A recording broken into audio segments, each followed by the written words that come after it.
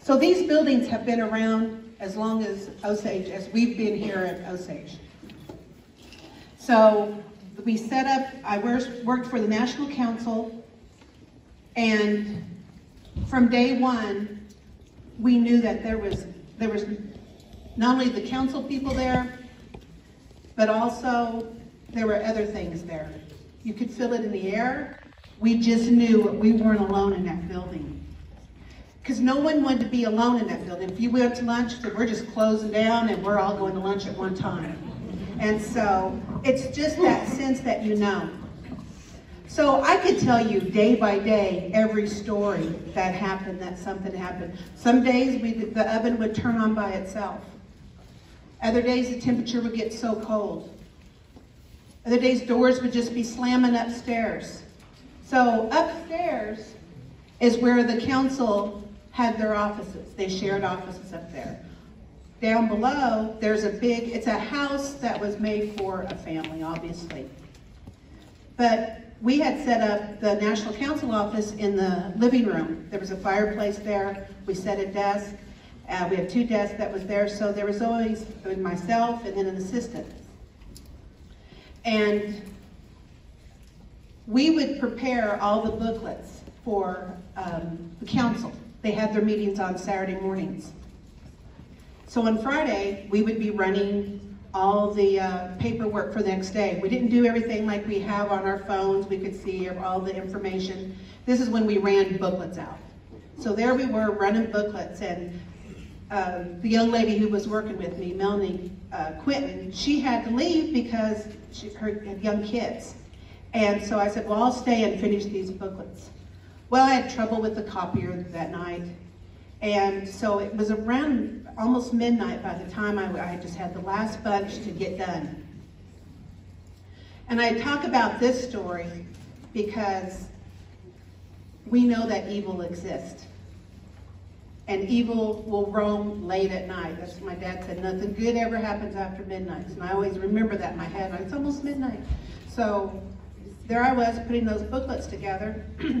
I had the I had my um, the music on. Um, this is when we had, uh, you know, just CD players playing our music. And um, just listening to, waiting for uh, the booklets to be run. And they were like two or three inches high. There was a lot of information. Then I'd have to take it, three hole punch it, put it in there. But this time, all of a sudden, I could feel the room get really cold. And I'm like, oh my gosh. So I went outside and and um, it, it was fine. This was in the fall. I would say like Indian summer weather. It's where you don't need a jacket, but it's just nice enough and it's not burning hot out. So there I was. I went outside. I thought, oh my gosh. So I went and I checked the thing. Wasn't even on. So as I was sitting there, I, I was listening to music and then I could hear, like right here on, on the side of my right side, I heard, have you all been to the zoo and you hear like a lion roar? That sound where it just bellows throughout the whole park. That's what this sounded like.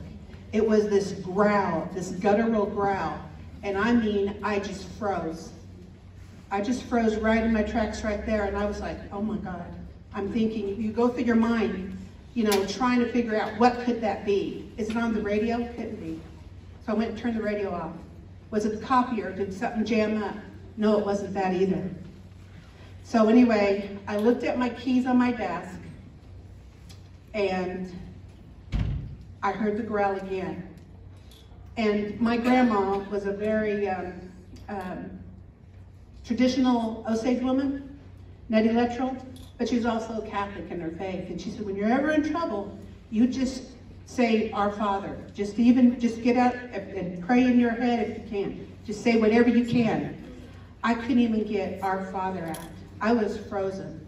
And so um, that growl came and it came louder and louder. So then I ran over to the my desk, I grabbed my keys, I walked out of that door. I didn't, as usual, I would have locked all the doors throughout, turned the lights off, and left. And there's something that told me when I got my car, do not, do not look at that building. And so I, I didn't. And I could hear, so as I drove away, I just happened to look in my, I didn't look at the building, but I just looked in my rear view. And at the very top, you can see where the A-frame hits. That's a hallway. There was no lights on up there, but there was this red glow. And I'm telling you, I got home, called my mom, told her what happened. She said, well, you better call the police, tell them to go lock that door up. So I did, and then the next day, as council came in, I said, I didn't finish these booklets, and here's why. So I was telling them about it. So they burned cedar right then, went all through there. And that's just one thing that happened. That was, to me, the most evilest feeling that I felt the presence in that building. And so, um, you know, that building has seen a lot of people go through it, and I'm sure there's other people who have worked. Can you raise your hand if anyone ever worked in the superintendent's office? There we go. There'll be some more of these stories. Then the next story, I'm going to make it, won't be as long as that first one. That one was the worst. The second one is when Melanie and I were sitting there, and this is like springtime. So at springtime, we had the front door open, and uh, um, it, it was just really pretty in there at that time. And so we were working, we had our two desks, and there's flanked by a, we have a desk here, on the right and the left, and there's a fireplace. So we're both looking at our screens, but we're not looking forward. And in the middle of the living room, when you first walk in there, there's this huge staircase and it goes upstairs and obviously, and then when you come down at the bottom, it goes to the right or to the left. I think they boarded it up since then. And, but it had this orange, goldish carpet throughout, this big shag carpet. And so I heard someone walking around. I said, did someone come in to work today? Because some of the council would sometimes come in. She says, no, no one's been in. And so I was sitting there, and then I'm facing this way, so here's the staircase. To my right, I see, I would say, every bit of a six foot three Native American, I'm saying Osage man, in a, in a morning suit, which is like, it had tails, and it was cut off right here, and he had a top hat on, a black top hat. And you could see that he had some kind of boot on. And you know how some people just walk down the steps? Well, he didn't walk down the steps. He kind of walked down the steps. And I'm, and then by this I'm looking, and then when he got to the bottom of the steps, he turned right and he just disappeared. So I look over at Melanie, and this happened within, obviously within seconds. I looked at Melanie and I said, did you see? She goes, that Indian man? I go, with the black suit? She goes, with that big hat? And I go, yes. So it was confirmed. We both had seen the same thing. And I go, where did he go? And we got up, we walked around, and we looked. He wasn't there. There was nobody there. So that was the second scariest. And then the third one was around Christmas time. And um, we were, I was decorating, Melanie was typing, she was doing something there. And I could feel, so I'm standing, and here's the fireplace right here putting decorations on it. And Melanie's about, oh, probably about where that end of that table is from where I'm at. And I could feel something tug on my, on the, my sweater. And I looked and I go, what you need? And she goes, what are you talking about? I said, did you not just tug on my shirt? She goes, no. And then, and I said, okay. Well, I said, well, something did, because it was short, because it came down from real low here. So I kept on about two or three minutes later. She goes, oh my God. And I said, what? She goes, and then she could see where at the end of where my sweater was, it was there was some movement, that someone was moving it, and I could feel the tug. And I said, I knew, I knew that someone had been there. But those are just some of the stories. I could go on and on about how I've taken people through that building. And uh, and um, there, there's presence in there, and I think there's more than, um, there's, I think there's several entities that are in there. I, I, just, I just know who they are. I don't know, but we did do one little test. I wish Sean Standing Bear was here because he could back up this story. We were telling him, he was at the time, he was the museum director, he came over and we were telling him what was going on. And uh, he go, and so he said, well, I'll tell you what you do. Let's get some salt. At the end of the day, we're gonna make these little cones and I'll bring some Dixie cups. We're gonna fill them full of water. and We're gonna put them all upstairs because that's where a lot of the activity was as well. So we went upstairs, went in each room, we all filled up the little cups, put them, set them out, little, made a little cone of um, salt, and then we left for the day. And we all said, when we get back in the morning, we'll wait for all of us to get here, and then we'll go in and look in the, um, and check it out. So around eight o'clock the next day, we go in, we go upstairs, one room, nothing, the, the little, um, cone of, uh, uh, salt was not untouched, the cups were there. The next room, it looked like someone took their finger and just ran it through that cup, I mean, that salt, and knocked over the water. The other one, there was nothing there. Someone had just, it was just gone, could never find that other cup. But this went all the way through there. And as soon as we left, we heard a big pop. Went upside, upstairs and they had like these big round bulbs down the hallway for, um, there were some, that had covered some of the lights and it had just broke. So that's just some of the stories. I'm sure there's others that people could tell, but thank you for listening and, um, um, I, I, I was at I was up there for probably two years before I started getting into law enforcement. And so um, I, had, I was in charge of going and checking the doors of every building and, if, and then also going inside of them. So it just isn't the superintendent's, it's the BIA office. It's the, well, it used to be the what they call the White House. It's no longer there. It's where the uh, Wajaji Clinic is now. And then the uh, BIA building and also the museum. So those, I think there's more stories from all of them. So anyway, thank you, Chris. Well, thank you, Chris. Um, it's a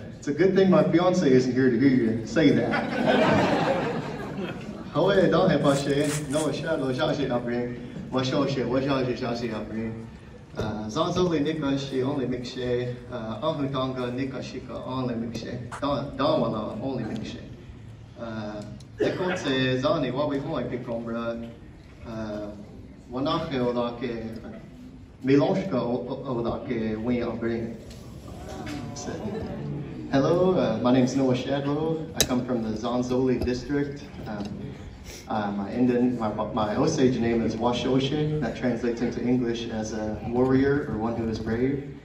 And I said, uh, I have a little people story to tell you all tonight. Um, this is, this is uh, my own experience um, from a couple years ago. It was about four years ago. Uh, this happened down there in the Hominy Indian Village. And I know, uh, I, I, don't know if anybody knows about what goes on in that village, but a lot of, lot of spooky things go on there. Uh, but uh, this, um, this is, uh, we had, um, my, my Aunt Lois had just passed away, and um, we, we had, you know, got everything ready, and everything went good. Um, but we needed someone to go down there and watch her house while we were getting everything ready for us to move in there. And uh, my parents asked my little brother, he said no. They asked my two little sisters, and they said no. So, as the Elompa, it kind of fell to me. I got voluntold to go down there. And um, I uh, started just, I made my little pallet on the couch there, and I started sleeping down there, just watching the house, making sure everything was okay. No, uh, nobody got in there, or no critters or nothing. And um, the first two weeks went by not a hitch. You know, there wasn't anything that went wrong. I felt pretty comfy down there. I, I turned on her uh, old uh, propane uh, heater down there, had a little fire going, and it was it was it was, it was really nice. I just enjoyed my time down there. And then one night, um, we I was uh, I just got done singing with some of my friends up here in Pawhuska, and um, I had I was I got back a little late it was about, I think, midnight, 12.30, we were like right after midnight. And um, I got, I took my shower, got me dressed, got in my, my uh, bed clothes, and getting ready for bed. I go to lay down and fall asleep. Around one or two in the morning, I, I heard, I hear something skittering around. And I was um, thinking it might be a little mouse or something, because you had that old uh, um, wood uh, paneling in there. You know that, that old uh, old grandma grandpa wood paneling. And I thought um, there was a little mouse uh, ch- chewing through it or something, make a little hole, um, trying to get out and get whatever kind of crumbs I had laying around. Um, so I walked around, didn't see nothing, uh, and then I went and laid back and laid down. And then I started to hear stomping coming from uh, um, the back hallway. There's a little hallway. There's the front. Uh, there's the living room. And then off to the left, there's this little hallway that goes back to the other two bedrooms and a bathroom. And I hear some stomping going towards that uh, that back bedroom. And um, I, uh, at that time, I like like that's what kind of started to spook me. So I started. I got up and I looked back there, and I didn't see nothing again. And it was a little bit harder, but I went back to sleep. And um, then uh, maybe an hour later, it was about three three thirty in the morning. I feel something tugging on my hair. I was I was, and at that point, I just started growing my hair out. So it, like it wasn't too long. It was, it was almost like a, like an Indian mullet. It looked like. And um, I felt something pulling on my hair, and I snapped up real quick, and I see um, I see something scurry off into the into the um, uh, that little hallway back there. And um, after that, you know, I, I took that as it not wanting me in there, that that Miloshka. So I got my st- my things together, and I uh, bolted out the house. I didn't even bother shutting the door, and uh, ran back down to mom and dad's, woke them up, and said, "Hey, there's there's someone down there. We got to go check this out." And uh, my dad, you know, I, don't know if, if uh, I know some of you know my dad, William Shadlow. He, I, I, I woke him up and said, "Well, what uh, what happened?" He kind of looked up. He said, "Oh, it's fine. They do that all the time." then he laid back down and went to sleep. Um, suffice it to say, that was the last night I stayed down there by myself. Um, but that is uh, my, my Milonska experience. Uh, I, know, I know a lot of people have different Milonska stories, um, but that, that one's mine. Érvasén. Thank you. um, so my story, one of the first ones I think I'll tell tonight, is oh gosh, it was about six months ago, maybe seven. No, it was longer than that. It was in April, I think, April or May. Doesn't even matter. Um, I had gone out to Cahokia Mounds. Um, for those of you who may not be familiar with that, that's um, it's over in the St. Louis area. It's on the Illinois state side. It's about maybe 40 minutes northeast of St. Louis. And it's an ancient mound city um, that um, Osages and a bunch of other tribes, we, we all descend from those people about a thousand years ago. And they built these enormous mounds. Um, and I was doing some research uh, for work, and we, I'd gone out there for a work trip. um, and so the, the archaeologist that was kind of taking us around, we stayed out there for eight hours, maybe nine hours that day, walk, just walking around that uh, those mounds and different areas, and he had talked about what was on them, what they thought was on them, you know, things like that, and the research and the digs that they'd done, and um, the first thing about that that I thought was interesting is that whole nine hours we were standing and walking um, at one point, and it wasn't even on the big mound. There's a really large one called Monks Mound, and I think it's the biggest mound, uh, biggest man-made structure besides Teotihuacan in the uh, Western Hemisphere. Um, but it wasn't that mound, it was a smaller mound that was a little bit older, and we were walking around by it, and I just, um, I felt something or heard something, and it just told me, just put your hand on the ground. And I did, and when I put my, my hand down on the ground, it felt like the earth was moving. And there was, I don't, and I have a hard time describing this feeling because there, it was just teeming with energy. And it almost felt like, um, if I could describe it the way I felt like I could see it, but I couldn't see it. That's the other thing. I have a hard time describing this. It felt like things were moving back and forth really fast. But the other thing I also felt, and this kind of sounds funny when I say it out loud, but I had, I could have stayed out there for 16, 24 hours and I would have been awake and full of energy the whole time. And that was also a very strange feeling. I just never got tired when we were out there. So That's the main part of the park that we were at. Um, and then we went back into this area that's on the south side, I think it's the south side of the park, and there is a causeway or a road that was built by the people that live there. And it's basically a raised road that's made out of dirt, and I think it's like a mile or a mile and a half long. And just to see that uh, engineering feat of people who have made a road that's that long and goes in a straight line is pretty amazing. They needed constant access to this other burial mound at the other end of it. That's the theory behind that. Anyway, when you go down that causeway, it's called Rattlesnake Causeway, we started to walk in there and most of the rest of the park, there's some trees scattered around, but it's pretty uh, open. But this part of the park um, has, it's a marshy, kind of boggy wetland area. and so there's a lot of trees, heavily wooded in that area. And we went in there, um, and there was a group of about five of us that had gone in there. And um, when we walked in, the first thing I saw, um, there were about four or five uh, like does or fawns. They were little deer. They were still spotted. They weren't fully grown, and they were really close to us.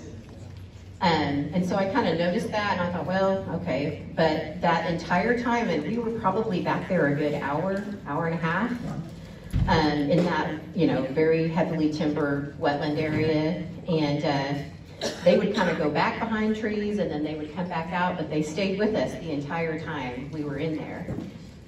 Uh, so that was the first kind of interesting thing that I saw. Then the next thing that we noticed, or I noticed, I guess, um, in some of these trees there were these real big furrow, furrows, you know, that uh, had been burrowed out of the, the side of the tree trunk, but they were way taller than animal furrows. You know, they'd go up probably this high and they were in weird shapes. They were in uh, like diamond shapes, or they would be they would be like this, but they just didn't look like an animal made them.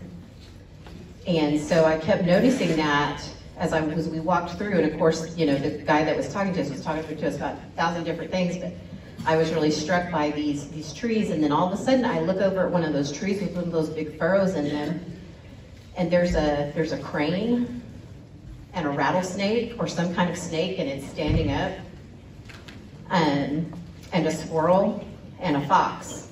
And they're just standing there, shoulder to shoulder, still as they could be, just watching as we walk by.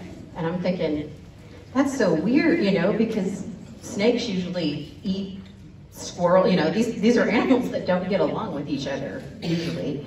And typically they're not gonna stand there as still as they were. Um, oh, the other thing, before I saw that first set of animals, it got really quiet in there. Usually you can hear birds chirping, different, different things, but it got dead quiet. And that's when I noticed that first set of animals that was right there. And they watched us, again, their, their heads turned as we walked by. And I thought, man, that's, um, it's unusual. Um, so then we, we keep going down this causeway and we stop, talk, you know, and then as the man, this man's talking, right behind him, about 20 feet, there's another set of animals that normally don't get along. They'd be chasing each other, or eating each other, or fighting. Um, a couple of birds, like a quail or a some kind of you know smaller bird. Um, but it was, and I, that was, that pattern happened about four or five times as we walked around in there. And to me, you know, just from hearing older stories, um, I'm not going to say their names, but there's that's those those LPs, those those little spirits, and they had disguised themselves.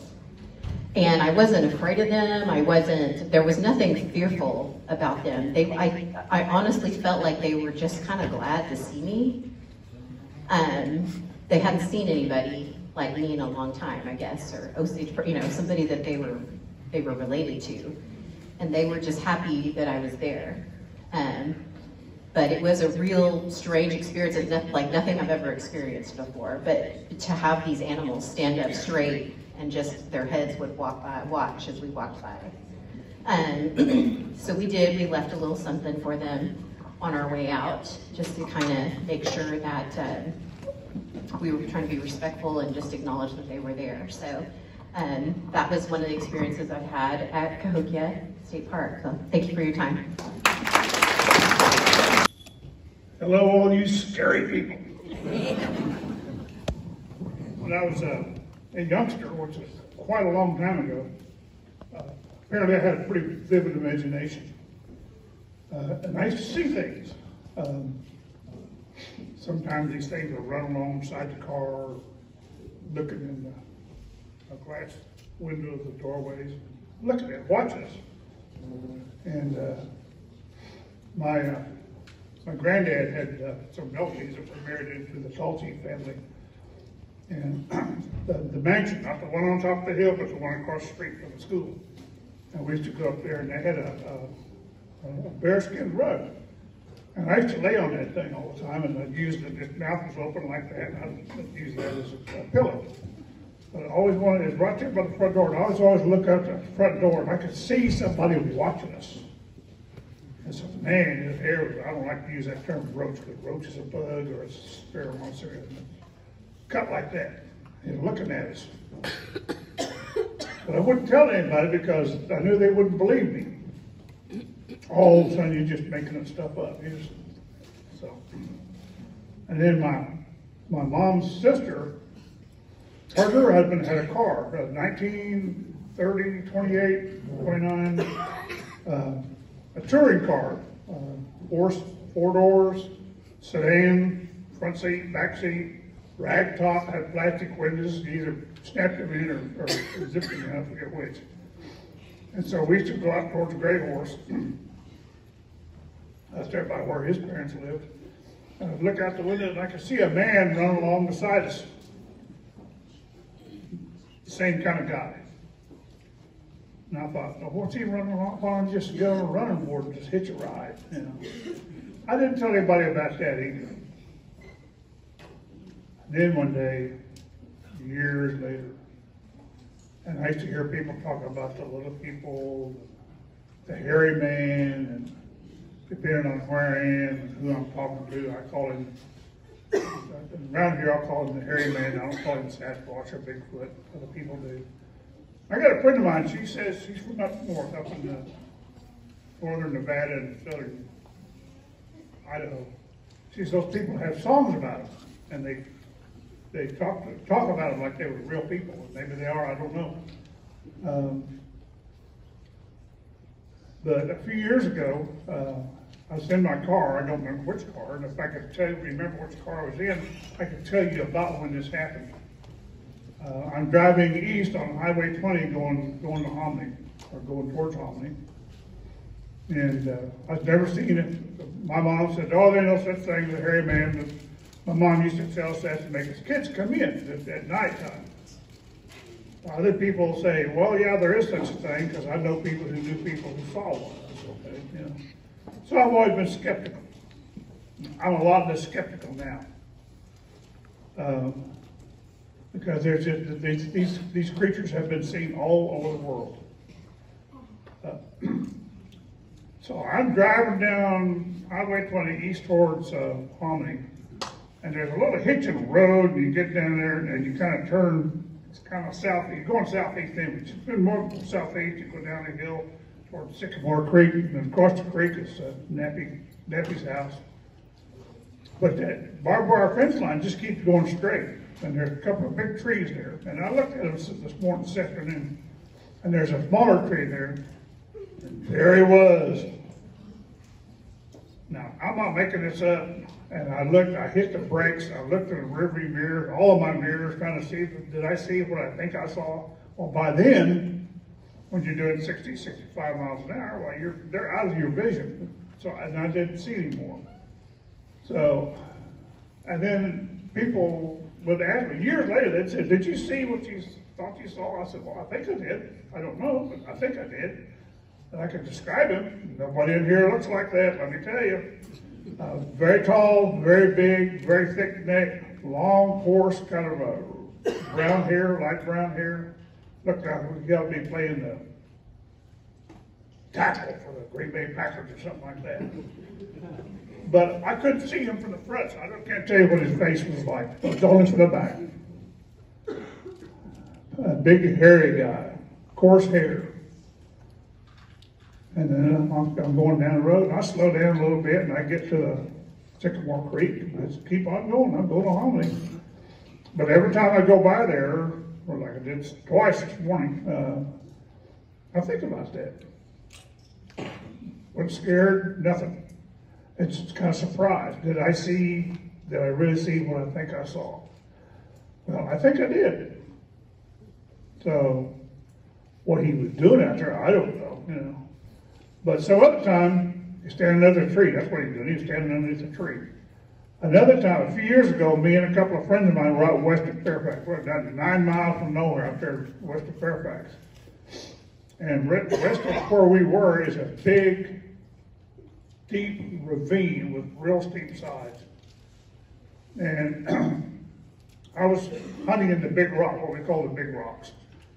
And uh, I thought, well, shoot, I'm going in. Time to go to lunch anyway. That's the way we deer hunt. We go out there, sit around, and go to lunch. And so I get back to pickup, and we're waiting on the third, the third member of our party to come in. And we hear the real loud scream, a roar like thing. He said, what was that? I said, I don't know. You gonna go find out? No. Do you? No. And I said, I'll tell you what it sounded like. It sounded like people who hunt coyotes and stuff, they have these little coyote calls. That's uh, a, a distress, rabbit in distress or something like this. And the coyotes will come and they'll look for it and they get shot for the trouble. Well, this sounded to me like something that was in distress, that was hurt, that was injured, like it could have fallen off into that deep ravine, that was had a broken leg or something like this. But we never did go see him. So the third member of our party come in, he said, why don't you go see it? It was because it's scary. We got guns, might not be enough. you know. So we didn't go see. And then, so they, this guy's sister, she owned that property, she wouldn't let us hunt out there anymore. Said, serve her right, and then she'll get eaten by those things.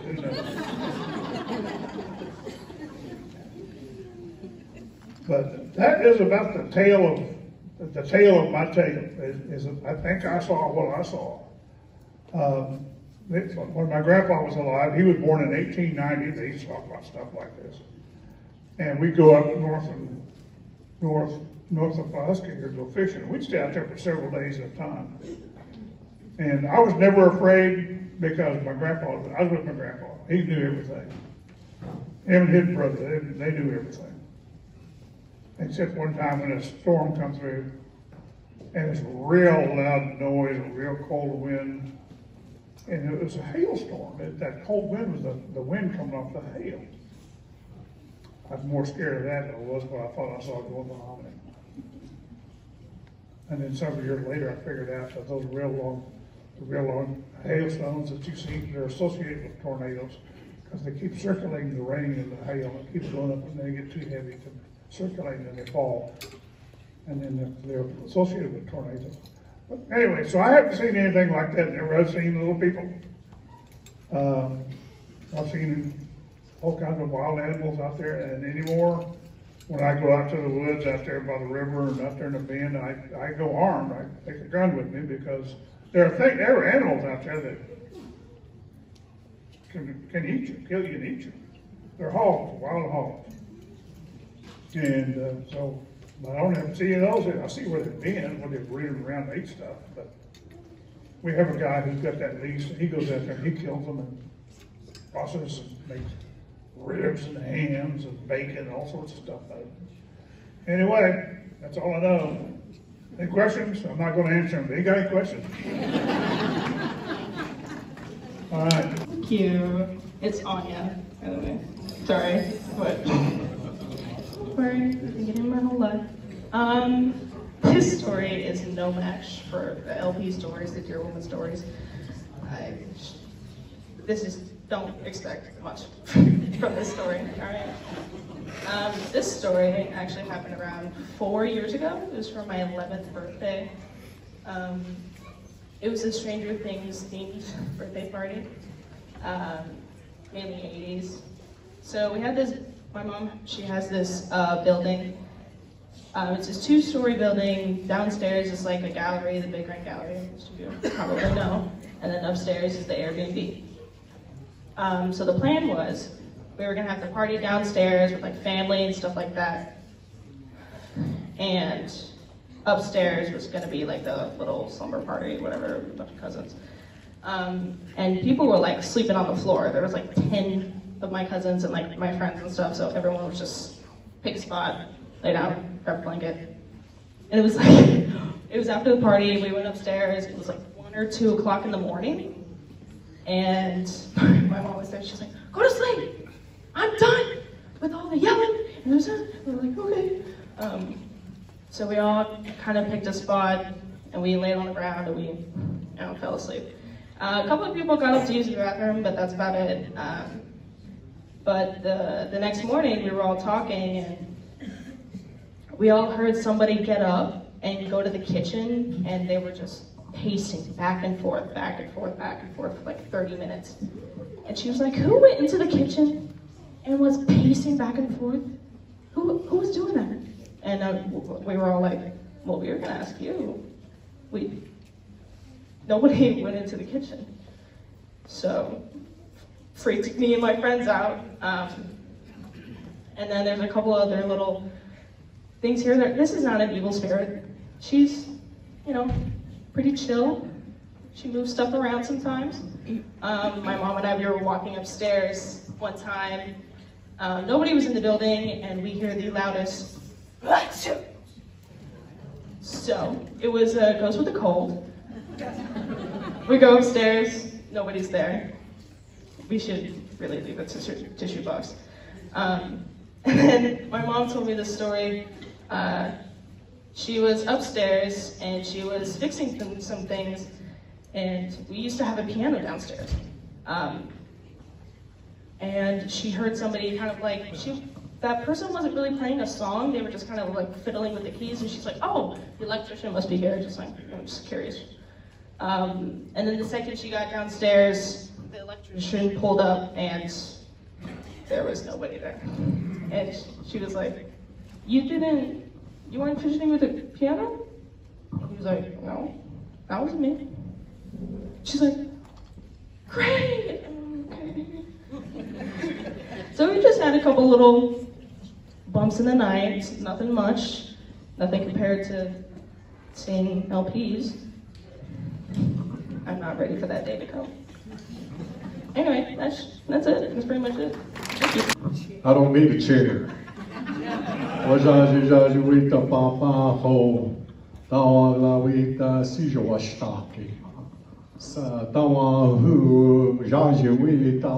Kuere, go tiele. I'm I'm from the Pawhuska, Oaxaca people. And I just want to tell you three quick stories. Our sister asked me when I walked in. Y'all see this building here? I work for the tribe. And we do a lot of construction. And I like this building. I know every window in this. I've measured every opening, every doorway. And this old porch here, it's not, it was built later. So the original is, just looks like this, without that porch. And then this is a, uh widow walk, they call it, and that needs to come off.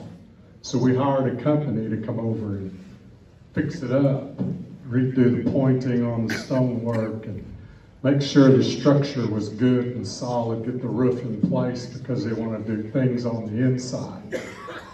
So I got my orders from my boss and the key.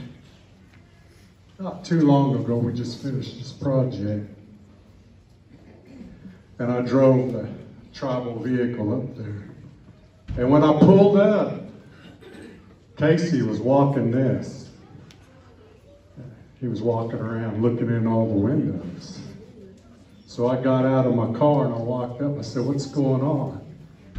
And he said, Somebody in the police department, the Husker, called them over at the main office and said there's a woman in there trapped and can't get out.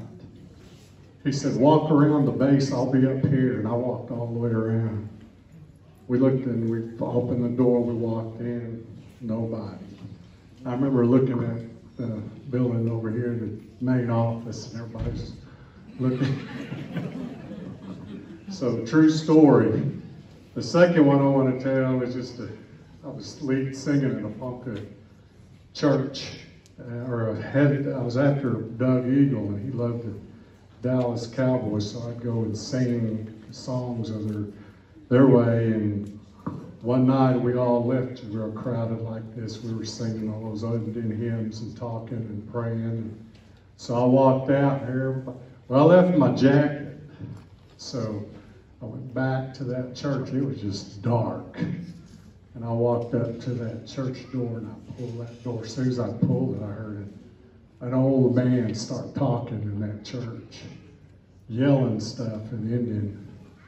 And I stopped and then I heard whatever he said, that whole church erupted and repeated exactly what he said. It's all pitch black and everything just went quiet. So I just walked in, grabbed my jacket, and I ran out. and then if y'all, who all goes down to 60, Highway 60? There's a lot going on on that flashing light. Do y'all notice that? Anybody? I've seen people standing in the road. I've seen people sitting on that bridge in the middle of the night. I don't know if anybody's seen that. Put your hands up if you've seen kind of strange things out there. So anyway, I've always had, but my last one was my brother-in-law. He married a woman out west, and he was driving out to see his kids out in the middle of nowhere. And he said, I just pulled over, and there was a rock off the side of the highway. So I pulled my car, nobody around. He says, I sat on that rock. And I was just beautiful. I was looking all over the mountains. And so all of a sudden I looked down the road and there was three little white kids running toward me. and they kept running. He said, I looked and he I just got in the car and I just took off. so anyway, thank y'all.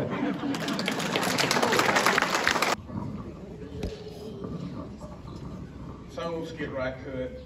I see a lot of faces in the crowd. You probably tell a lot of the same stories I can. Um, but this one kind of correlates with Margot's story and Polly's story about the superintendent's home.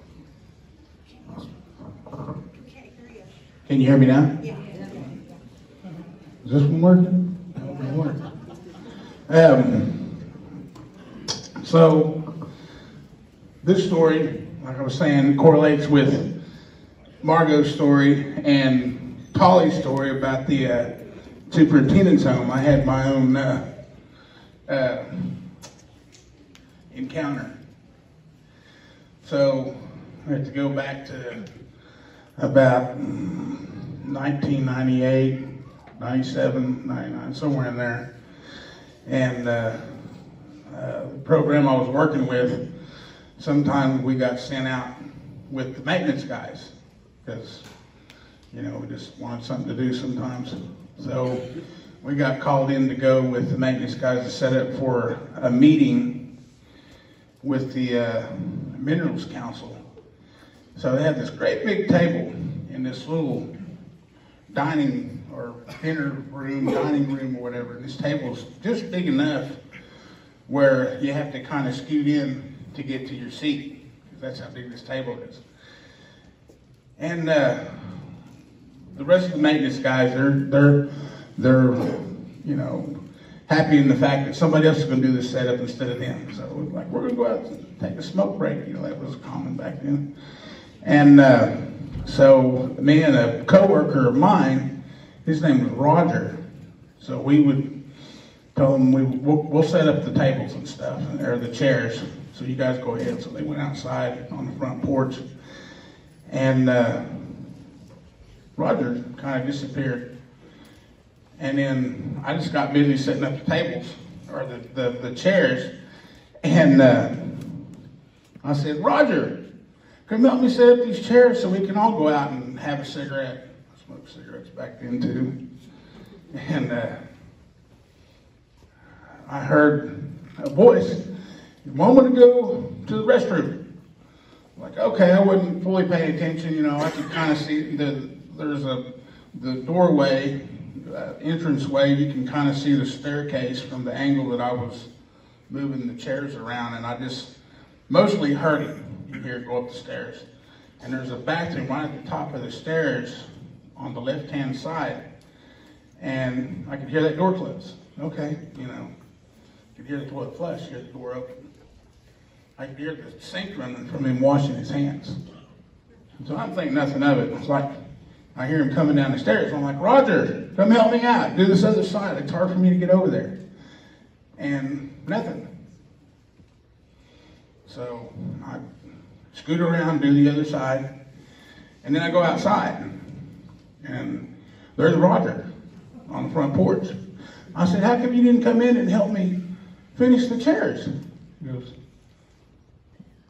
Well, I've been I came out here with the maintenance guys. I was like, No, you went to the bathroom. You told me you were going to the bathroom. I said, No, I didn't go to the bathroom. I came out here with them. So I was hearing somebody walk around up there, talking to him, it kind of answering me. And yeah, it was about 10 years before I went back to that building. and it's been at least 10 years since I've been in there since. So, with that story, I have another story about the superintendent's home. But this story isn't my story. This is a story of a friend of mine that told me his encounter, one of his encounters. He had many, he was on maintenance. But after my story, when I sat at the table and stuff, this is probably, I don't know, seven, eight years later, when I didn't, knew I didn't want to go back in that house. So he's telling me about um, on maintenance, and they're up in the upstairs room in one of the back rooms. Now, after I figured out that I had an encounter after it happened, I didn't want to go back up and find out which room this was. So um, he was telling me that they were all up there painting these rooms. They had to be repainted. So they were putting coats and coats and paint on this one particular room, and something orange kept bleeding through on this one particular wall. And uh,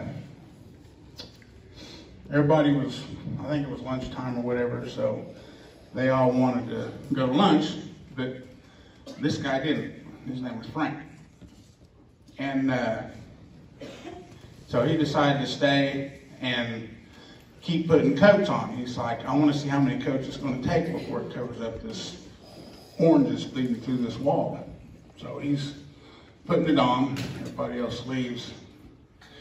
And he said, uh, there's a closet in this room. I think he said it had a sliding door, maybe French doors, I'm not sure. I think it was a sliding door.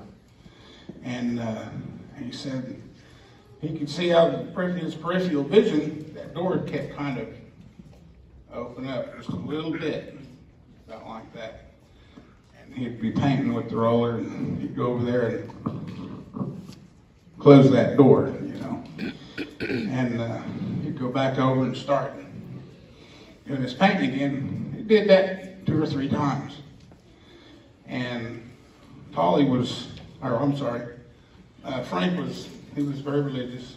He carried this little Bible in his, in his pocket all the time.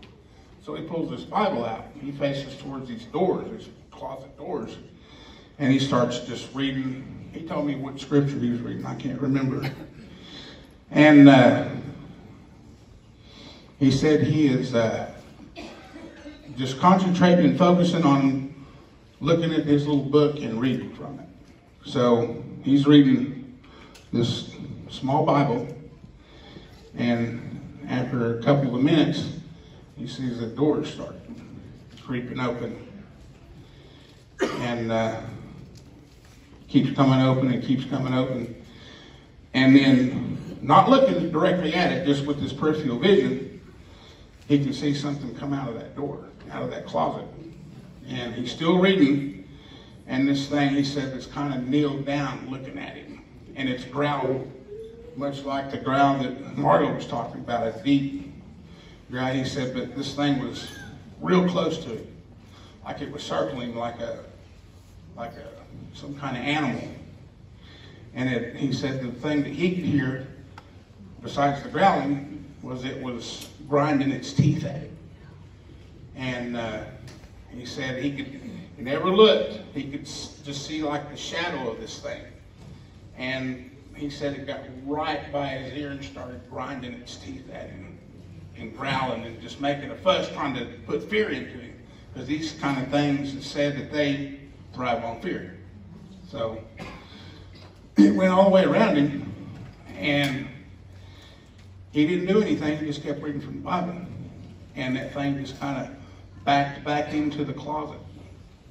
And he said, "Slam that door as hard as you could." As soon as he did that, he said he was out of there.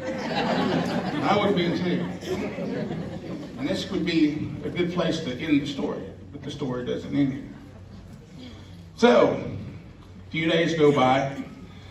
Uh, weekend comes, weekend goes. And so, he's back at work, and they're all daring at each other, trying to teasing him, you know, let's go back, and we're going to send you up there to put another coat of paint on that wall, you know. And I'm not going. And uh, he said after uh, about a week or so, he started getting phone calls from this superintendent's home. Uh, he said some of them were at midnight and some of them were at 3 o'clock in the morning. Now, this is where the police department was and dispatch and stuff at the time. Um, but only the, the, the thing, the strange thing was, is they closed at regular business hours, which was, or they closed at five, I think. So at five o'clock, the dispatch left for the night. There's nobody in that building. It's locked up from five o'clock in the evening until six thirty or seven o'clock the next morning. So he kept getting these phone calls from this place, and had talked to the dispatch lady like she needed him to come up there right now at 3 a.m. And then another call. We need to come up here right now at midnight. You know, there's trouble. You know, one of the officers or something is like, well, I'm maintenance. So, you know, this went on for two or three weeks afterwards, and he stopped getting the calls from, at least I, I think he did. But, uh, you know, that was uh, Frank Redcorn's story. And, yeah, I don't want to go up there even more now. So, and that's my story. Thank you. Good evening, everyone. What a crowd. I can't believe all these people are out here. This is great. But, um, okay, so I've got two little bitty stories I want to tell, and then I've got that have to do with the hill, and then the other one's about the village. And, but first, I want to say that I do believe in ghosts. I've had lots of ghostly encounters. I believe in spirits. Um, I believe there's good spirits and there's bad spirits, and it's hard to tell which is which unless you kind of know the key to all of it. I um, also will tell you that my dad said quit telling these stories because people will think you're crazy. and I just can't quit telling them because they're really cool stories. So, and none of you know, I live out in the village, and of course I've worked on the hill since about 98. And um, so I've had lots of encounters. I've been in that superintendent's house a million times. I'm the one that put the newspaper staff in there for about five years and made them work up there, and they had to learn to cope with all the spirits and ghosts up there and stuff. But, and so I wasn't gonna tell these little stories till Margot told hers, and so I can tack on to what she's, what she's got going. So, this is, um, and this is about some scaredy cats, because we used to have to go in that house all the time for all kinds of things. And so I was there one day, and I was with uh, Harrison Shackelford and Frank Redcorn, and there was two other guys that worked in maintenance then. I can't remember who they were. But we were over at that house doing something, probably getting ready to move a crew in or move a crew out or, you know, something like that. Anyway, so we're standing there talking, and there's two staircases in that house, one in the front of the house and one in the back of the house. And so we're, we're standing there, there talking, I think we were in the front of the house, and all of a sudden we hear water just gushing. I mean, just pouring. And so we stand there and kind of start walking around a little bit, and then we realize it's down in the basement. So we go over toward the basement. I said, well, go down there and see what's going on. They all went, no way. I'm not going in that basement.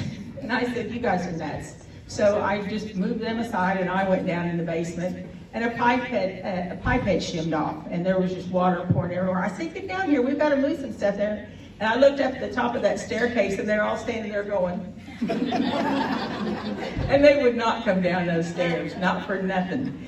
So um, anyway, I wanted to tell that one. So then the next one, I've worked at the BIA, I've worked at the clinic, and I've worked for the chief's office, and so I've been in all those buildings. And people are right. At night, when you're there, there's typewriters going, there's elevators going up and down, and you just get used to ignoring it while you're working. So this was this was when I worked um, at the clinic, and we would really burn the midnight oil there and stay there. Sometimes we worked till midnight, one o'clock, two or three of us. And so this was a particular night when we were working really late, and we what we do is pile all our kids up at my house, and then that meant one of us had to leave and go get dinner and take it over there, or go get movies, or go get whatever to entertain them, and back and forth. So uh, the girl I was working with, she had left the building to go out and fool with the kids. And then I was sitting there just working away at my desk, and all of a sudden I saw a figure out of my peripheral vision come around a corner and come down kind of a little aisle way and go into the office next door to me. Well, I thought it was her. That was her office. And I really just didn't say anything and just kind of kept on working. I thought that's really odd that she didn't say anything when she came in, right? I'm back, or, you know, the kids were doing this or something like that. But I was really involved in what I was working on. And then all of a sudden I see something come out of that office and come in and stand right beside me. And it was a white vapor. And I had never seen a spirit like that, a white vapor. Anyway, it was just a white vapor that was just there, you know, and stuff. And that time I thought, I don't know what this is, so I got my purse and I left out the back door. So, but like I said, for the most part, I really am not afraid of spirits. I'm more afraid of real people than I am of spirits. So, um, I live out in the village, and uh, we are kind of protective of our spirits out in the village. Several of the houses have spirits. There's lots of stories that go on as we've grown up and stuff, and so um, different ones in different houses. A little boy in one house and different things. Well, my grandmother died in uh, 1996 on Sunday of the June dances. Now, she had been sick for a long time, and she was in a nursing home in Tulsa, and we were all up here for the dances. And in those days, I've got like 36 people in my family kids and brothers and sisters, in laws and outlaws, and all that business. So in those days, this was in 96, kids were little, so we had cots all over the house, people just sleeping everywhere. And I would always get up early and start the coffee. So I got up that morning, just woke right up, felt good, got up out, out of my little cot, headed for the kitchen to make coffee, and just as I passed the threshold into my kitchen, my grandma's spirit passed right through me. And it was like a shockwave that went through me. But I knew it was her because I could smell, I could taste her, I could feel her, and more than anything, I heard her. And what she said was, Oh, Paula, in the most wonderful, exuberant voice, and that she was feeling good. And so that made me feel good. Now, when she would go into a coma, when she was in the hospital and stuff, I would have little experiences with her and, you know, tell my folks, well, she's calling me, I need to go up there and stuff like that. But this was different. This was powerful, and this made me feel wonderful. I said, if I ever needed a, com- a confirmation of my Christian faith, that was it right there. So I felt good for just a moment there. And I never heard, I started making the coffee, and I never heard him come in the back door, but my uncle came in the back door to tell me that she had passed. And then I realized what was going on, right? Okay, so that's normal for me. That's that's what happened. But when she did that, this is what I believe that when she did that, she opened up a gate. She opened up something, some kind of a portal, because she was one that did not believe that there were mean ghosts. She did. She believed in her. Her faith was powerful, but she did not believe. Matter of fact, she was another one that was like, "Don't tell these kind of things, because you know, people will just think you're nuts." But it happened. It happened for real. But it didn't end there. And what happened was I began to have experiences in my house of people everywhere. And I mean literally everywhere in my house. It was to the point where I was having people come spend the night with me every night because I couldn't go to sleep. They wouldn't let me go to sleep. But if somebody else was there, I didn't notice it so much. So it went on for weeks and then months. And I was telling everybody, you know, they will not let me sleep. I don't know where they're coming from, but they're just everywhere. So as I would walk through, my hallway is just a little six by six room that connects all these rooms. And especially when I would walk through that hallway, there would just be people everywhere. So I walked through my house like this. Because I thought, I don't want to make contact with them. I don't want to talk to them. I don't need to hear from them. And they don't need to hear from me. Just ignore them and they'll leave you alone. But they don't leave you alone. They just keep staring and staring and, and, and like I said, the cold vapors and all that kind of stuff, you know, and the corners and stuff. And so I was telling everybody, I said, I need to have this house smoked, you know. Well, my uncles were just like, "Mm, just go on, you're fine. don't, just don't pay attention. I was opening doors and I was opening windows and I was asking them all to leave and because I needed rest more than anything. Well, in that experience and with all the other experiences, and I've had numerous ones of them, uh, especially with family members and stuff, I began to understand what was going on because I learned two things. I learned, first of all, that a lot of them carried a white handkerchief. And I had to figure out, and just one day, just all of a sudden, it just it occurred to me what that white handkerchief meant. And that white handkerchief meant they had something left behind that they needed taken care of. They were in mourning for something or someone here. Then the next thing, we talk about the little people. For me, those little people are not nice people, those are little evil people. And so when you see those little dark figures that are down or close to the floor, then that's evil, and so I don't talk to them at all, ever, and try not to talk to any of them and stuff. But that was the two little things I had to figure out for myself. I love my ghosts. I still hear one once in a while, or I hear something once in a while. I hear a lot of them when I'm at the dances. I appreciate them. I asked an uncle one time, what, what, this is, this is not a testimony, I promise. This is, this is about my ghosts. But I asked my uncle one time, what did we believe or how did we interpret death a long time ago in, in our old beliefs and stuff? And he said there's four phases to our death, and one of them is on this earth. And so I believe that's those people, that they're locked here on this earth and stuff. And so when you see them or hear them, appreciate them and be good to them. But do not talk to those little dark figures. those aren't something that's that's good. So I wish it was a little scarier, but it wasn't, or it's not scary to me. But anyway, thank you all. Thank you. How are you all doing?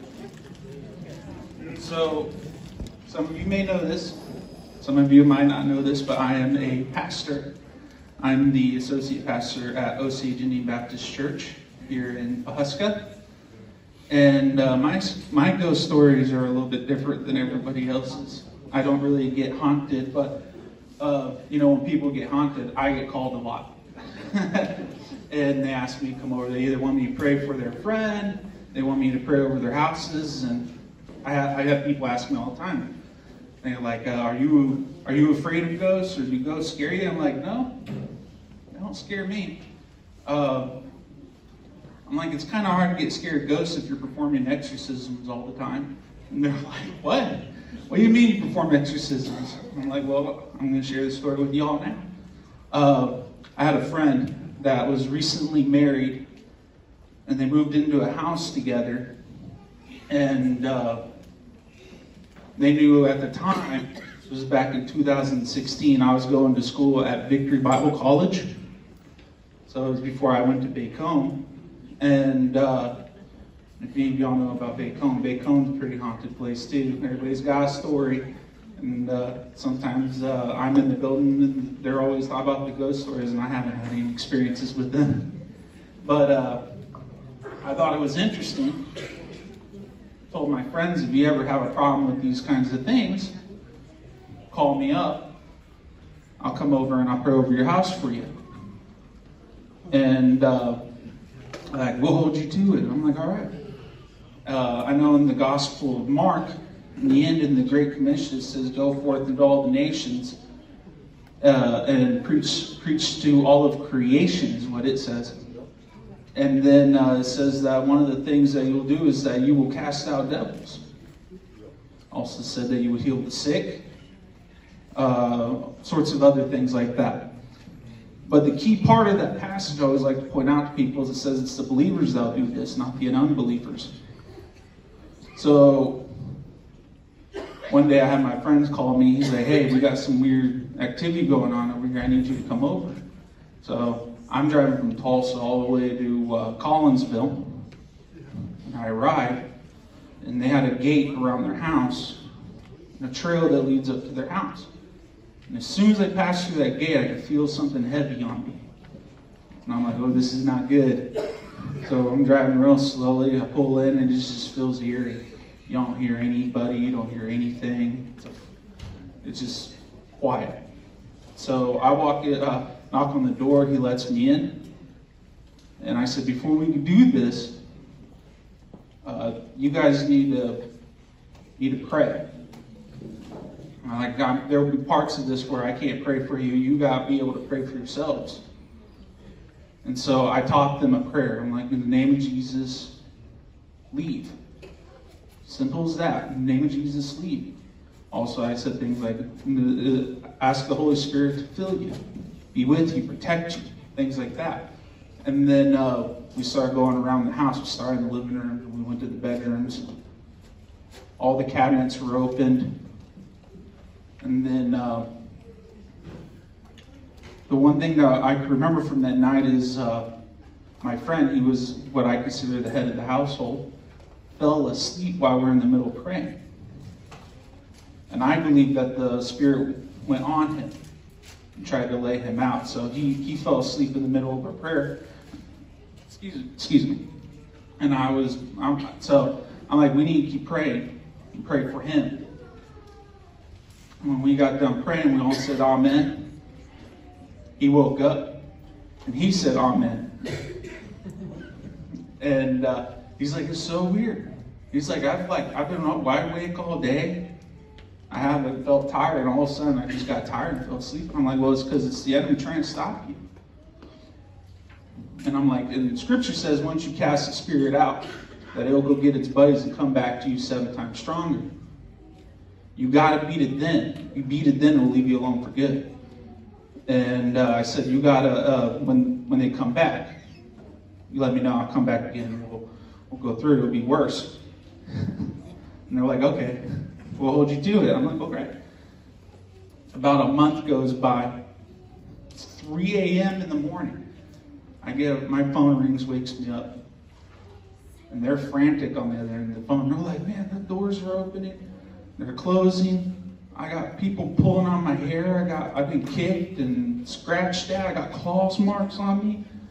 We need you to come down here and pray for us. I'm like, all right, I'm coming. So I roll out bed and I get over there, and it's a foggy night. And uh, this, I could tell, I could tell this was not going to be a uh, pleasant experience. So I'm driving real slowly. I get, I basically a repeat of last the last time I was there. And but this time the door was already open. I, they could hear me coming up the up the porch and like, is that you? I'm like, yeah, it's me. Go ahead, go ahead, come in here. They said they could see somebody walking around in the living room, the dining room. Cabinets are opening and closing, things being thrown at them. And I'm like, you got olive oil in your kitchen? And they're like, what do you need olive oil for? I'm like, have you ever heard of anointing oil before? You gotta put, put oil on things, and it's a symbol of the Holy Spirit coming down as a protection. And uh, I want to put olive oil on all of you. I want to put olive oil on the entrances and things like that. And they're like, yeah, we got olive oil. So I went, went in the kitchen. And they had a new family member in the house. It was his sister. And she was in the guest bedroom. And across her hall, across the hall and, uh, from her bedroom was another bedroom, but they were using it was taped off. I'm like, what's what's going on in that room? And like, we got black mold, so we taped it off. That way people don't go in there and get sick. I'm like, okay. And uh, so I prayed over everybody. I taught them how to pray. And I said, y'all need to go to different parts of the house. Y'all need to repent. Ask the Lord to come into your heart. Ask the Lord to protect you. Because what we're getting ready to do, you're going to need protection. And so they did so. They went to their rooms, and while they were doing that, I was praying for them that God be with them as well, and me. Because I don't want whatever this is to follow me home. so ask the Lord, Lord, protect me, my friends, uh, protect, protect us when we go to encounter this thing. And then we all came back to the middle of the room. And I'm like, all right, we're going to open up the prayer right here in the middle of the house. So when we opened up, we, we all did a prayer, asked the Holy Spirit to pour down like water, like, like fresh oil. And, uh, and then after we did that, I told him, now go, let the Holy Spirit lead you.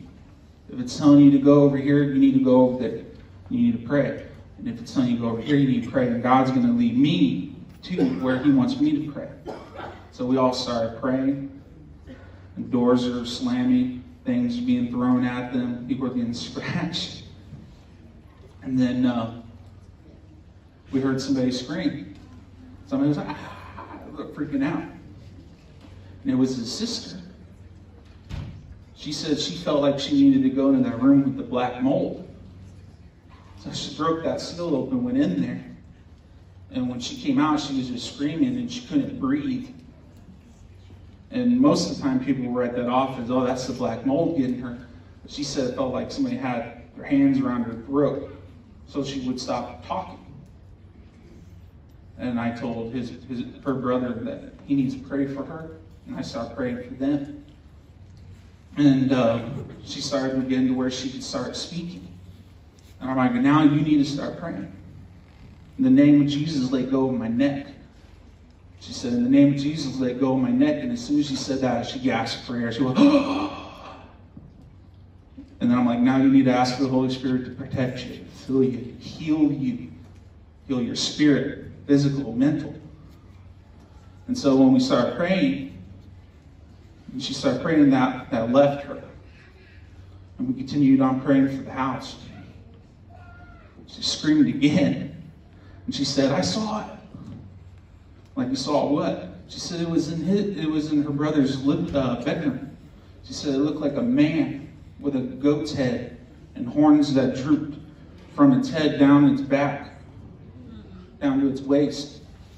I'm like, we need to go in there now. So we went in there and started praying against it. And uh, she freaked out again. She's like, it's in the. She, she could see. She said she she could see this thing. She said it went into the it went into the closet. I'm like, well, we need to go here. And I'm like, this is the last room we prayed for. Has nowhere else to go. And so the last time I said, in the name of Jesus, leave, she said she could hear it scream. She said it sounded like something grabbed it by the ankles and dragged it out of the house through the ceiling. And I'm like, all right, so now this thing's out of the house, and then we pray for all the doorways and all the windows, and we put all of them. Man, they're listening to everything I'm saying. they're all spooked. And I said, we need to pray over the doorways out, the doorways in. We need to pray for the windows. We put oil on all the entrances, you know, kind of like Calvin Exodus. They had to put the blood of the lamb on Passover, right? So we did the same thing with olive oil representing the Holy Spirit. And we prayed that God would seal the entrance, that no evil spirits could come back in here, and they won't be welcome on the property anymore. And then it was just me and my friend. And I'm like, since you're the head of the household, you're the one that pays bills to your house, follow, follow me. So we walked down this gravel road to the main gate that's on the property. And when we got to the gate, I'm like, you need to pray for protection on the gate and nothing could even get on the property now. Now it can't be in the house, it can't be in the property. So he started praying. and I could hear something running in the gravel from the house, like full sprint, just. And I look, and I could see a tall figure, and it lost its shape. I couldn't. I just looked like a shadow, and it passed me. And when I turned, the gate rattled real hard. And as soon as he said amen, I looked around, and all the fog in the property was outside the property line. There was no more no more fog on the property, then all of a sudden all the dogs in the neighborhood started barking and freaking out. I'm like, all right, this thing's gone now. And ever since then, they believe in the power of prayer. they pray all the time now. They go to church and all sorts of things like that. So that that's my one of my scary stories. I have a whole bunch of others, but I figured I'd save them for next time.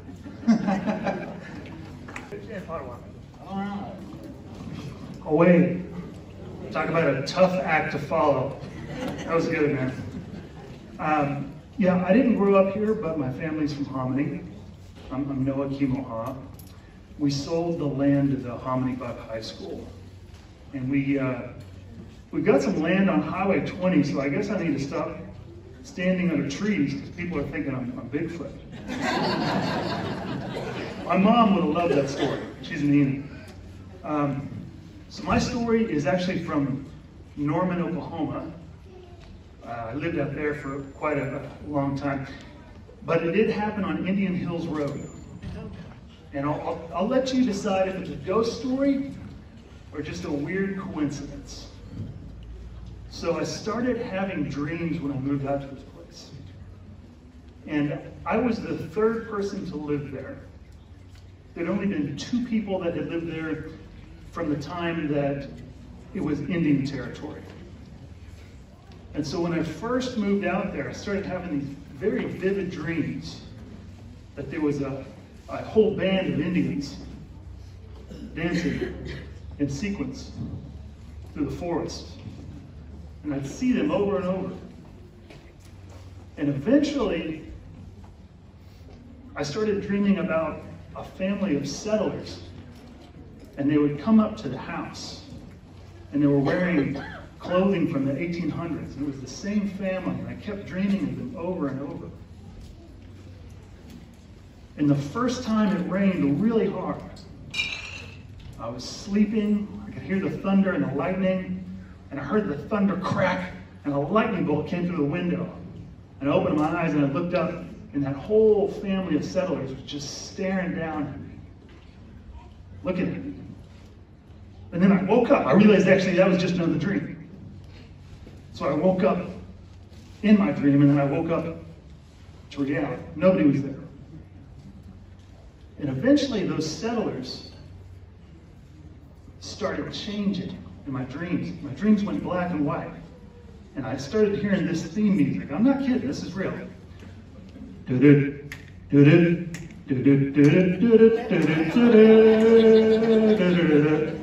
And you know, the Addams family, they're not scary when you watch them on TV. But when you start dreaming about the Addams family, man, they're scary, I'm telling you. And I just kept dreaming of the Addams family. It was black and white dreams. I always dream in color. But all of a sudden, I'm dreaming black and white. Addams them, and they just wouldn't leave me alone. That's why I thought, okay, I got to investigate. Now, here's where the coincidence comes in. I went to the Norman uh, County Hall of Records, and I looked in the town uh, plot. Plat. I looked all the way back to the beginning, because like I said, I was only the third person to live in this land. And I had bought it from an old lady who was in her 90s. She lived there alone. She had bought it from the people that got it either in the land run or when it was opened up, the, the settler family. And I looked at their name. And the, the name on that book was James Adams. So the family that lived there was the Adams family. maybe a coincidence, maybe a ghost story. I don't know.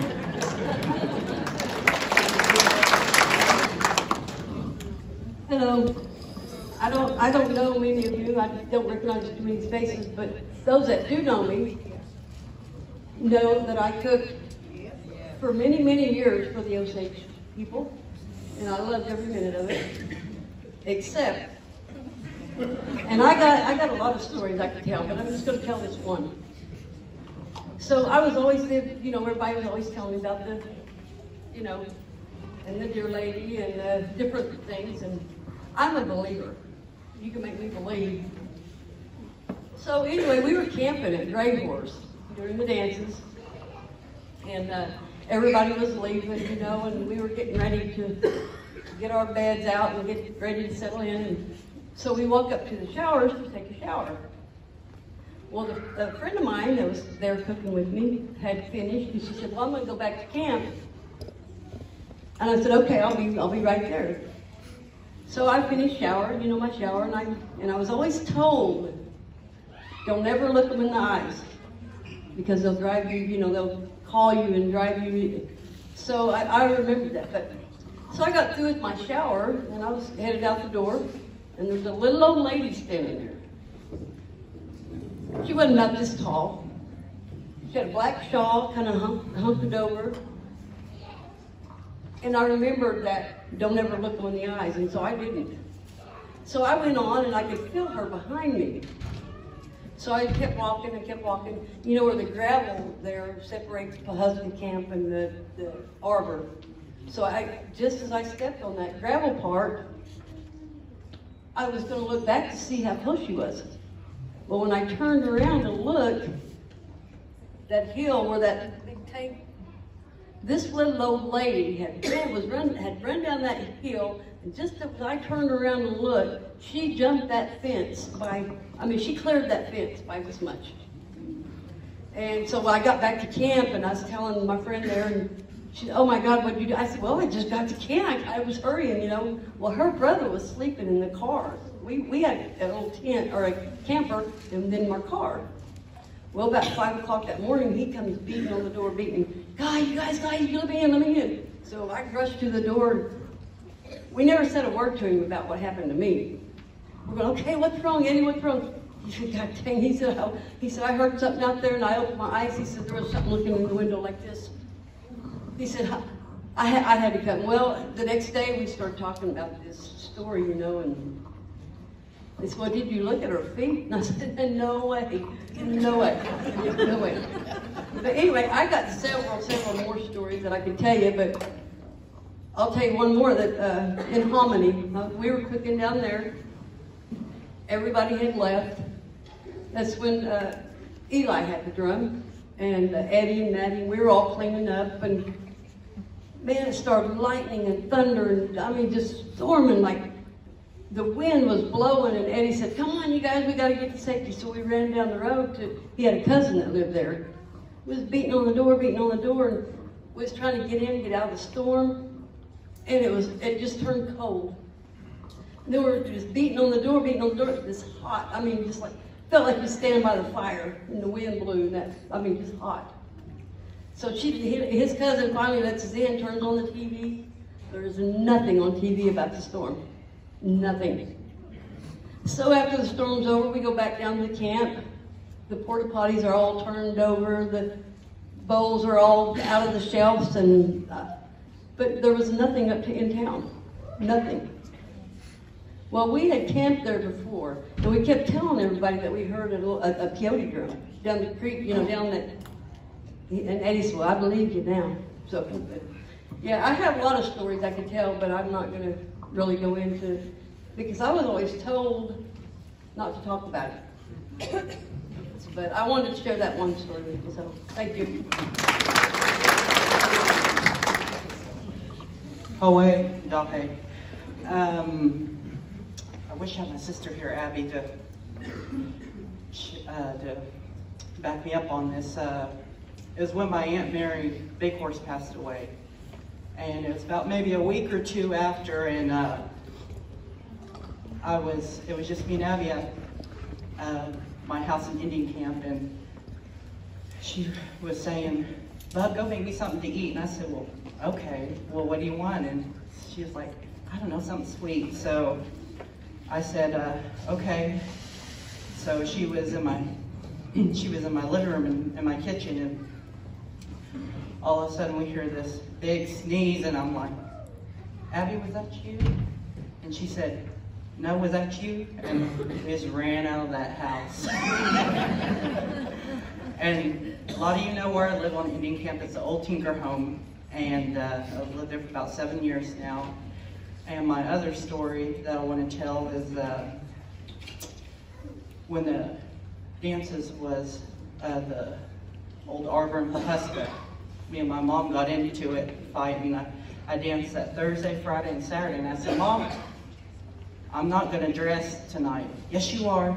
You start ironing. I was like, no, I'm not gonna dress tonight. I'm just gonna sit here and watch TV. I was being selfish. And my elders always taught me, you listen to your mom, your aunt, and your grandma, and you go dress. And I didn't do it that time, and uh, so our my room's on the other side of my house, and uh, my sister room is too. So we had the door open, and I was um, sitting there, and I was just watching TV, flipping through, and that little person came out of my room and looked at me.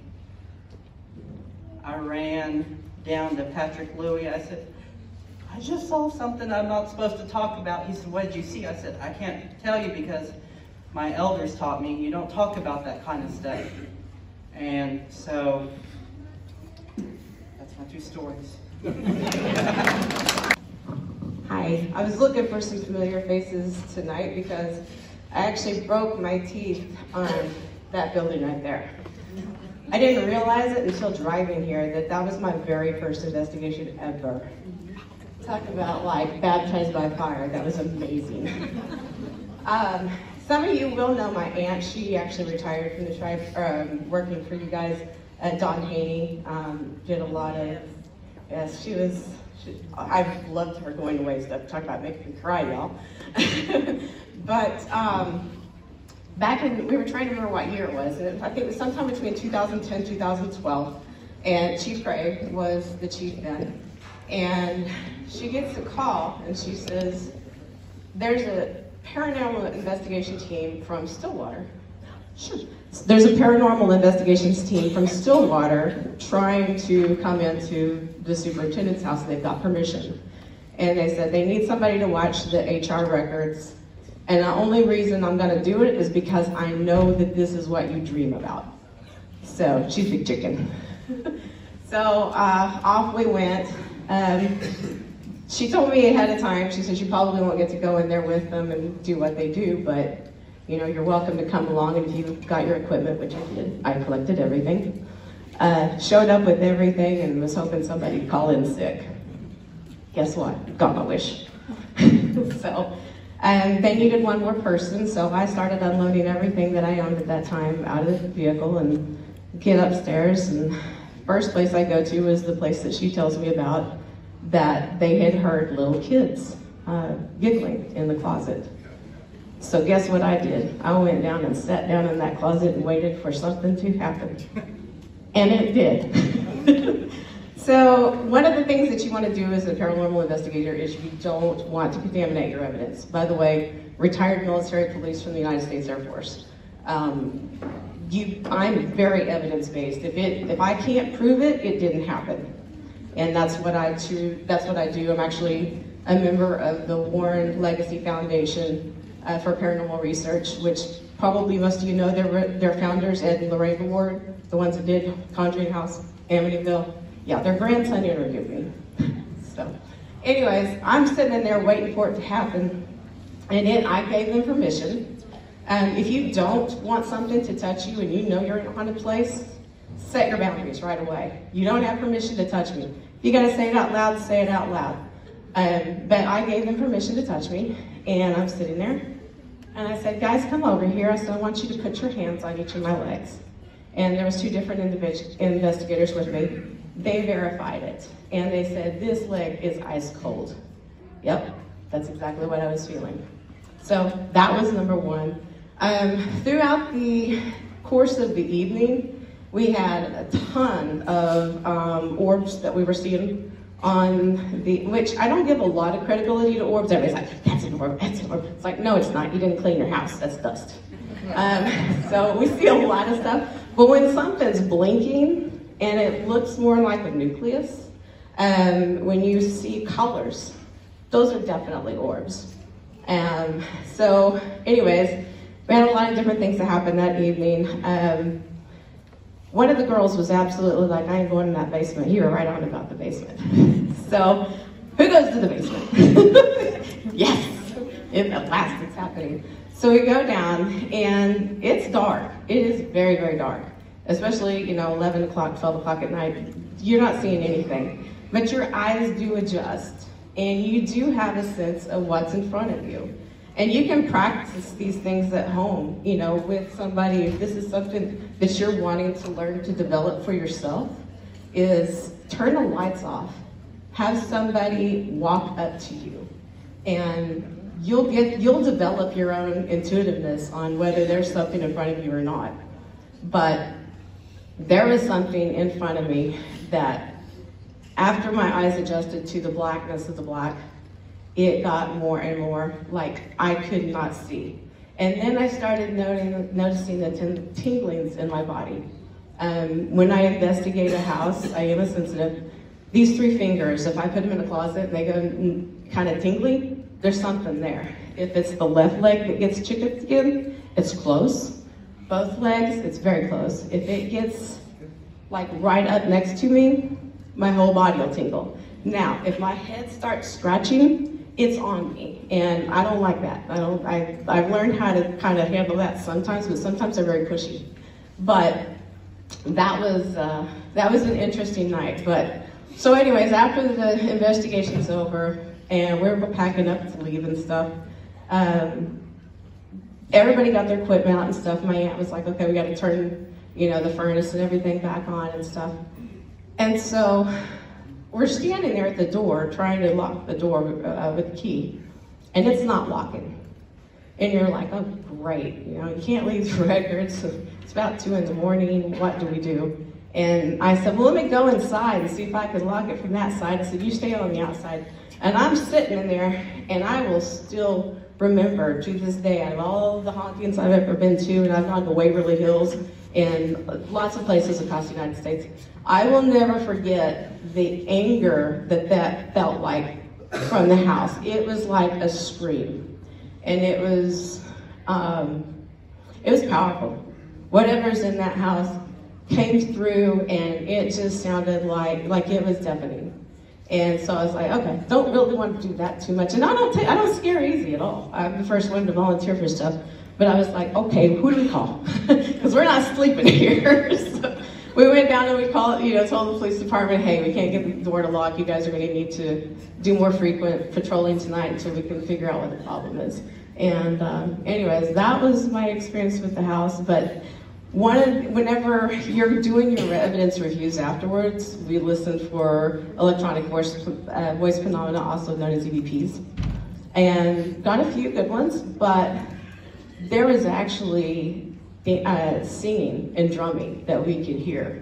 And it was super, and I tried every place to look for it. I was looking at the cloud, I was looking in old drives and stuff like that, because I really wanted to bring that to you guys tonight.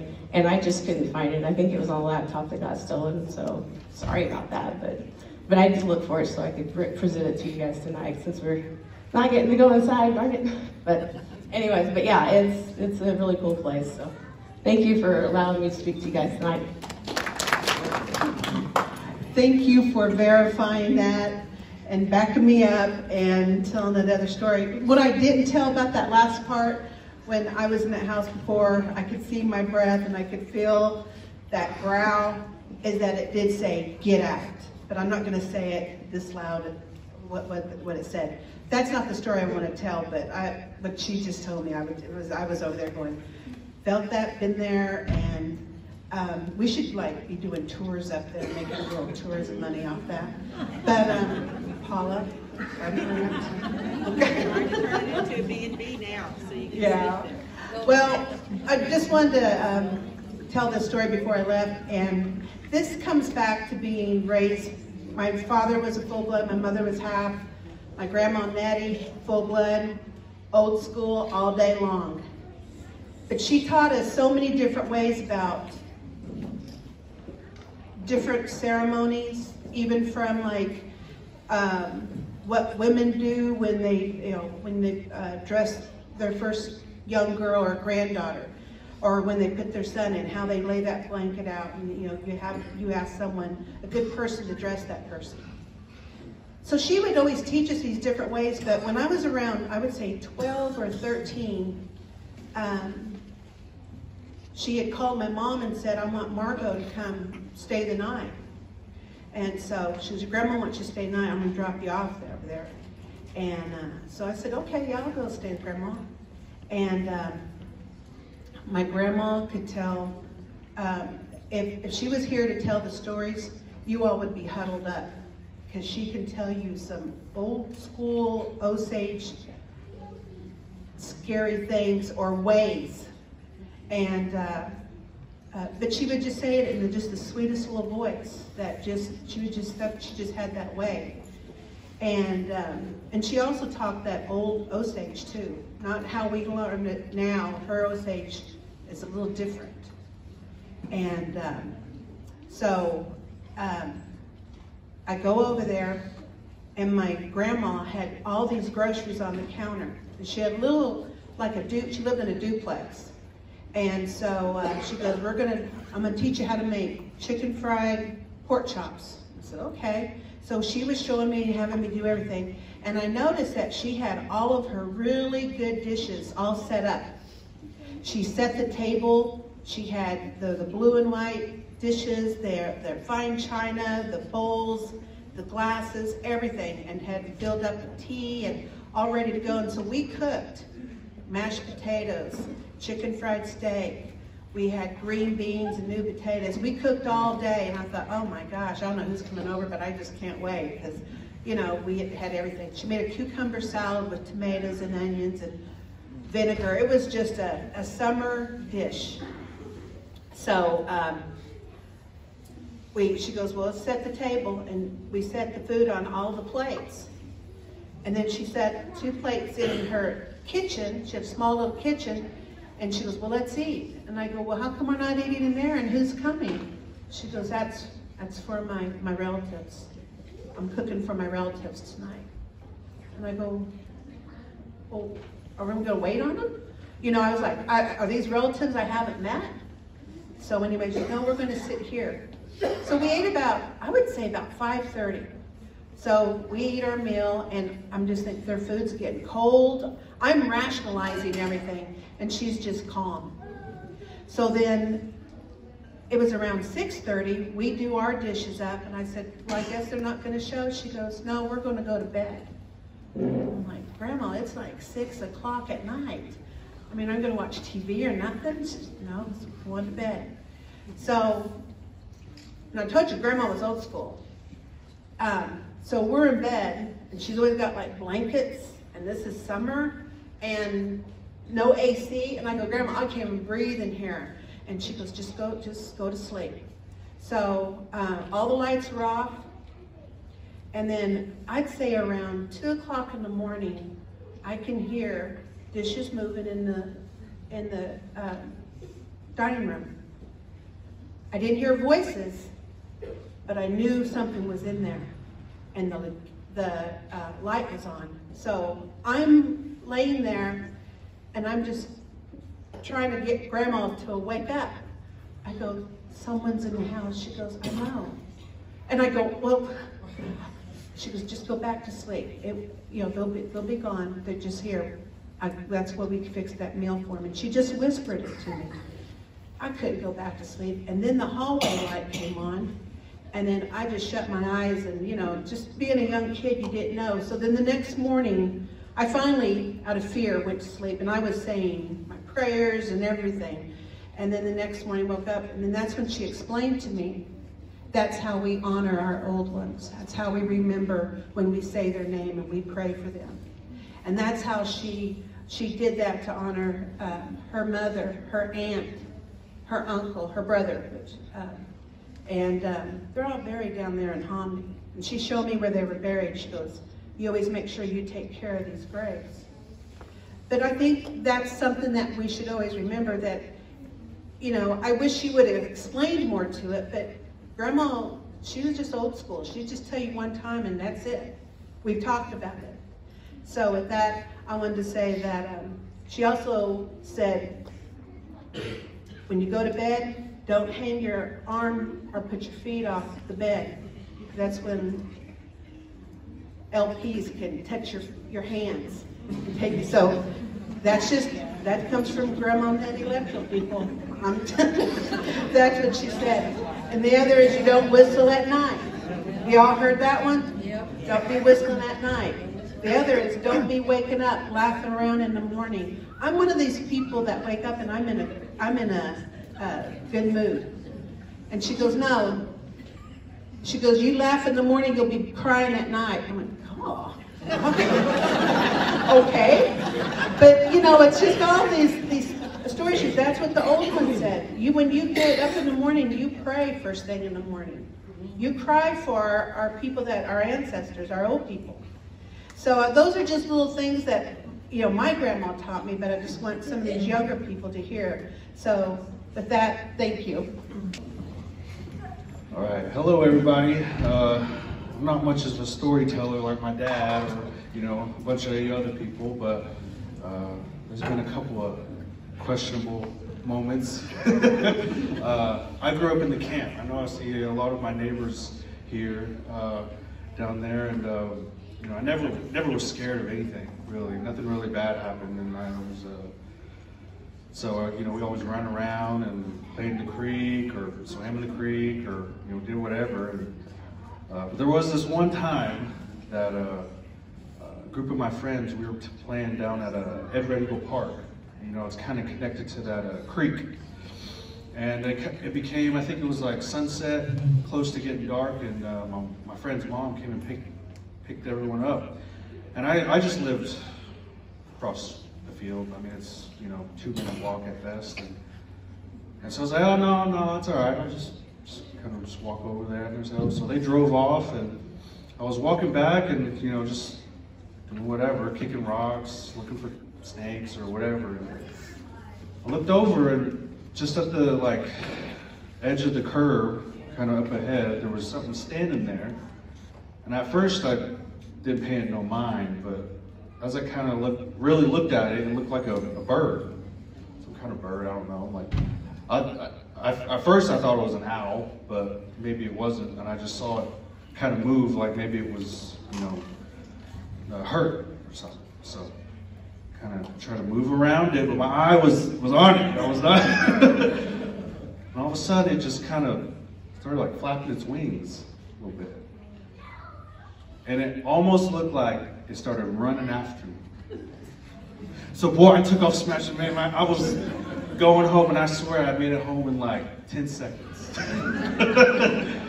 long, long time. And uh, I think, uh, I can't remember, we even had, I remember I sat down and the food was ready, I think, and it was like hamburger helper, piece of like butter bread. So I forgot everything else.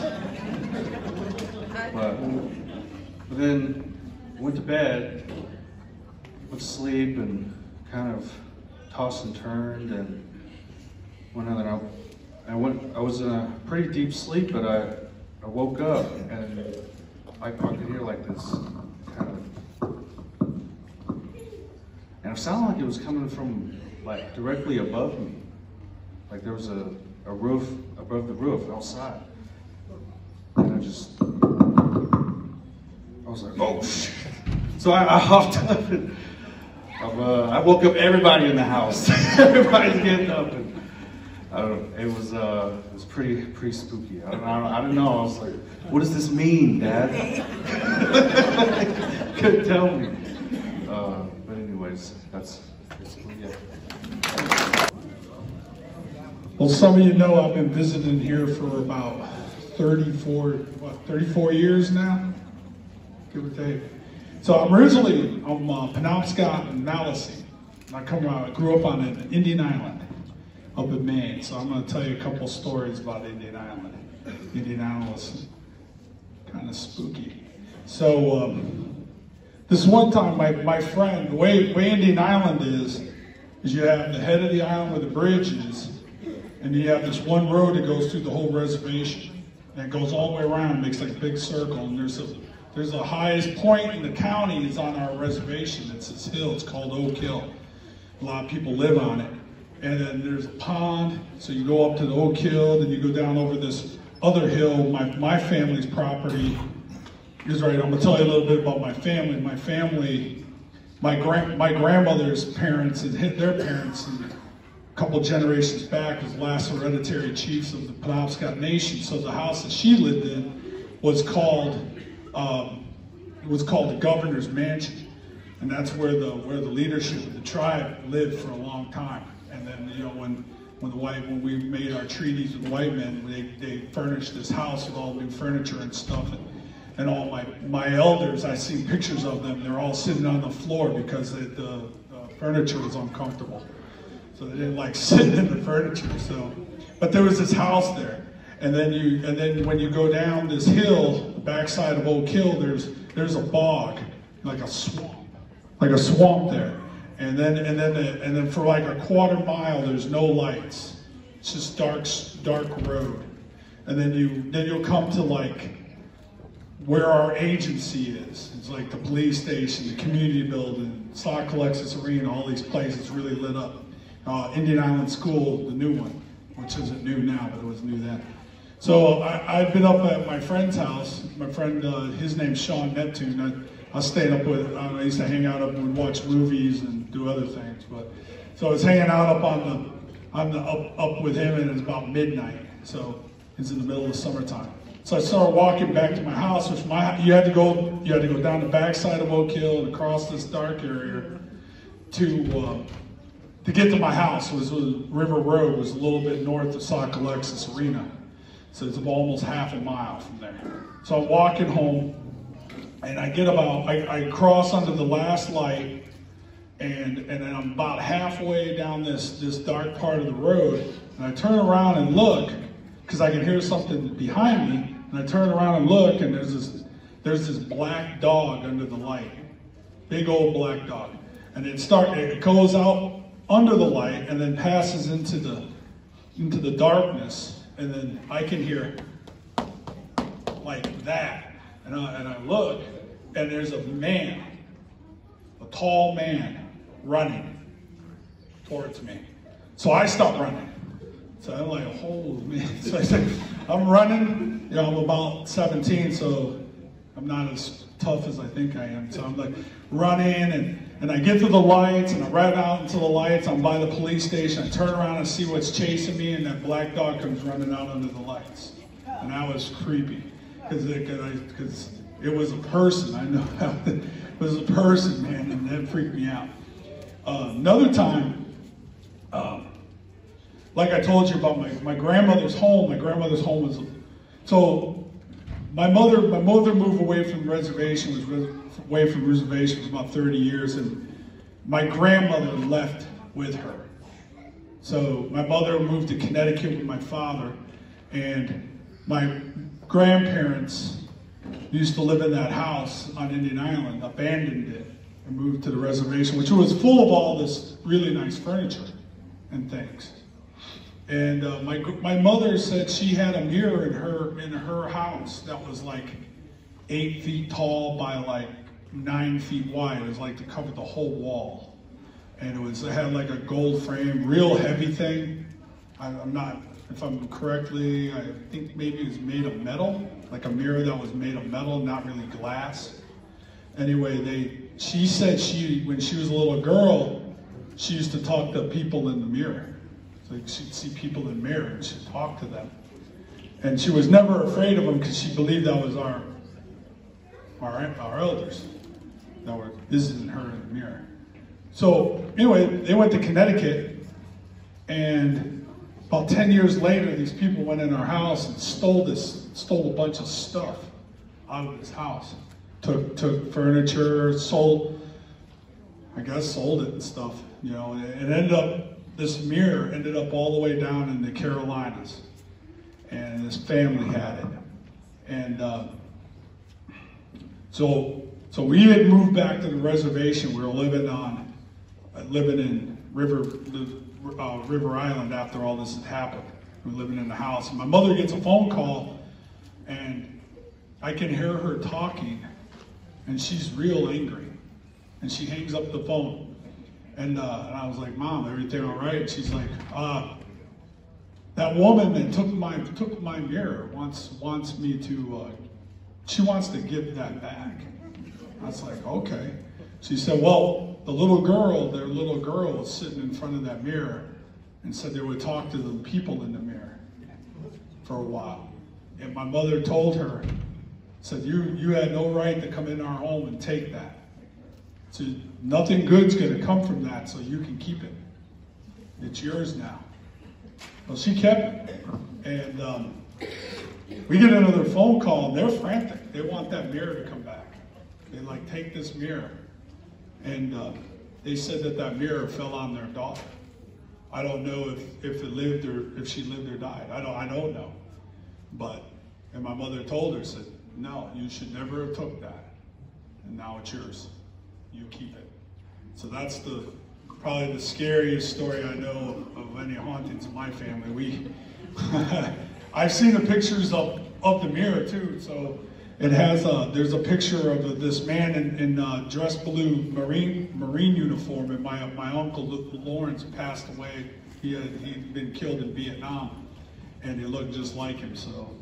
So that's uh, I never I never felt cre- I heard all kinds of stories about my grandparents' property and being haunted and stuff being thrown at people and all that stuff. But I even I had some person go up there and try to bless the property, and they got told to get the hell out of here Penobscot. But it, but I never, I never had a problem with any of that. I figured it's just because of my family. They didn't want them around. But uh, that's, that's all I got. Eka hane de konsea ha tio ka de ka ha ankat si peta ha de hiko ora ki ankat angat ka eta de la de ajmi de krisa eh, ka de ampan de это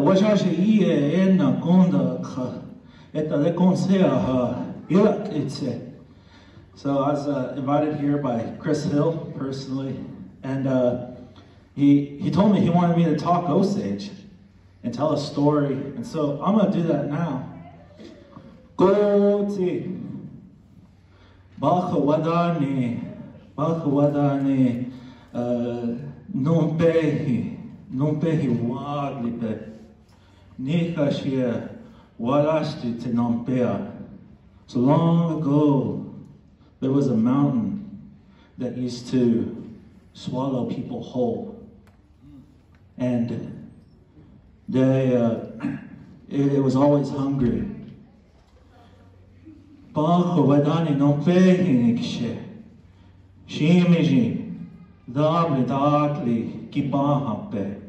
So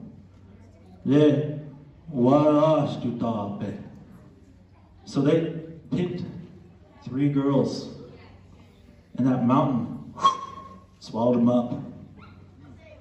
Shina ekion pia, shimishi dagliwi, wadastu tape. And they did it again. They sent another good girl, and that mountain swallowed her up.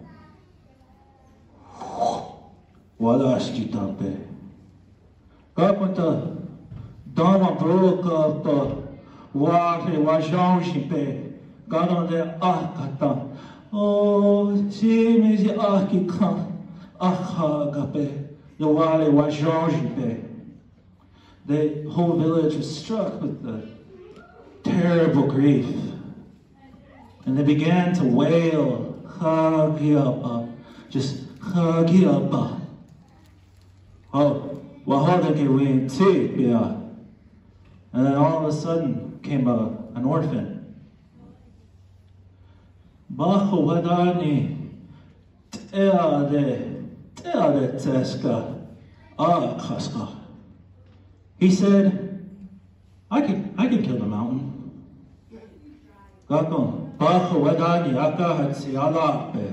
So he went, he went up to the mountain. Gashi, le bajo aka ha tse te. Vishkita, ona, ona shita, ona shita di ho, kakota bajo wadania wadashita pia. So he got to the top of that mountain, he, he said, Me too. Swallow me. And then the mountain swallowed him up. And then Monseta, Monseta ahipia ha wahusan e na ilapia. So he got to the bottom, all he saw was white bones, bone dry. Gashimishikena ahipe. He was there where the girls were. Lingape, they were gone.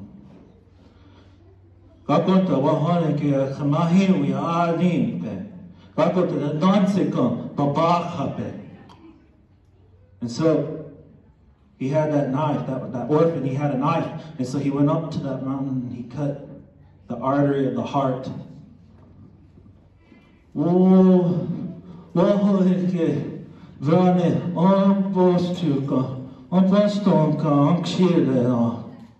Oh, this orphan that I have swallowed is making me nauseous.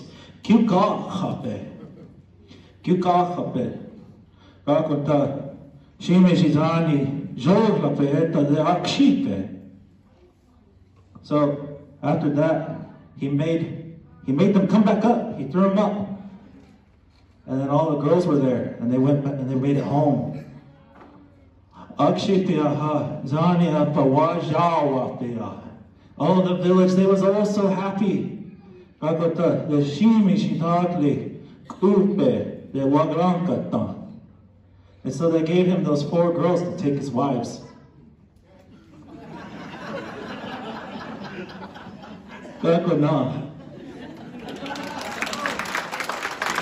Man, let's give him another round of applause. That's the beauty of the Osage Nation.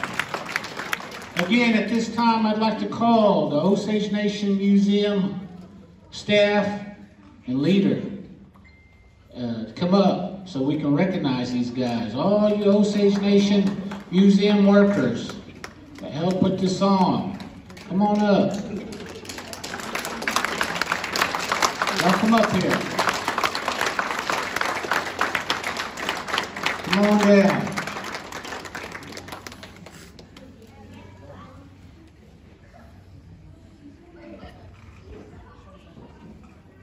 I want you guys to introduce yourselves so people know who helped put this on. He Kiopa Wajaji Jaji Abri. Marla Redcorn Miller Istahi Ajaji. Abri. Abri. Um, Wahakali Nikishe only Minkshe. Sija Washtaki Donali only Minkshe.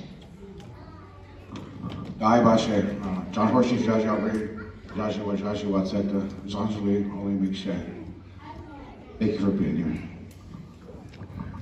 Um, Jordan is dan Jajiabri, Humpa Donka Wajaji Jajiabri. Um, in full disclosure, I've actually been on PTO this week, so I didn't help as much as everybody else, but um, it's a wonderful event. Happy to be here. Hello again. Uh, Noah Shadlow. I just wanted to say uh, thank you all for coming. Um, his, this was a really good turnout. We had a lot of people coming. It, it was it was fun to hear everybody's stories and laugh around and even get uh, spooked a little bit. So uh, yeah, thank you all for coming. Hello. My name is Julie Cote. I am the um, customer service representative. I sit at the front desk of the museum. And uh, I keep count of people. We officially have 188 people.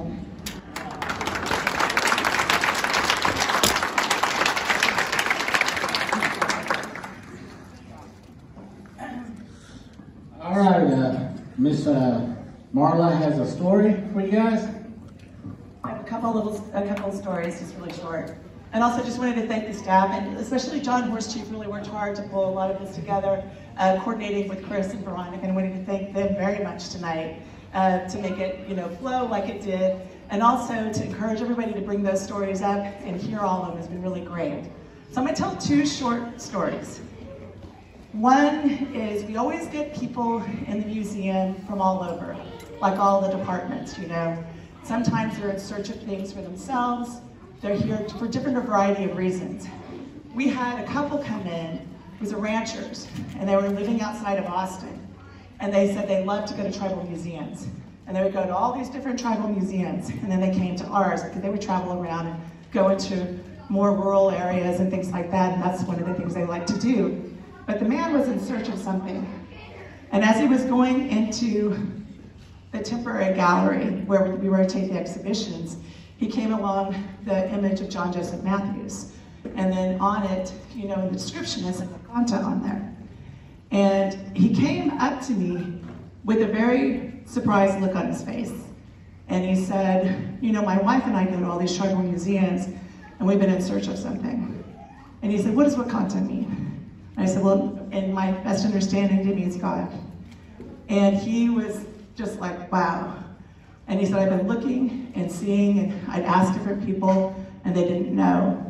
And he said, I was out on my ranch, and I was out by myself. And he said, this huge wind came over me, and it said Wakanda. And that, that was something that happened that I thought was really, really moving. And then the other thing, and you know, people talk about the museum being haunted, and, and you know, I you know believe in spirits and things like that. I haven't really had any experiences like that, but maybe a couple. And this one's a little humorous. I've been working late, and I had a lot of things, you know, going on. My, you know, I had my backpack and my all the things that I was getting ready to take home and get in the car and take it home and everything. As I got to the door, you know, that back door on the west side, it opened up for me. And I was like, oh, okay. And I just like helped. So but thank you guys so much for coming, and thank you again for Chris and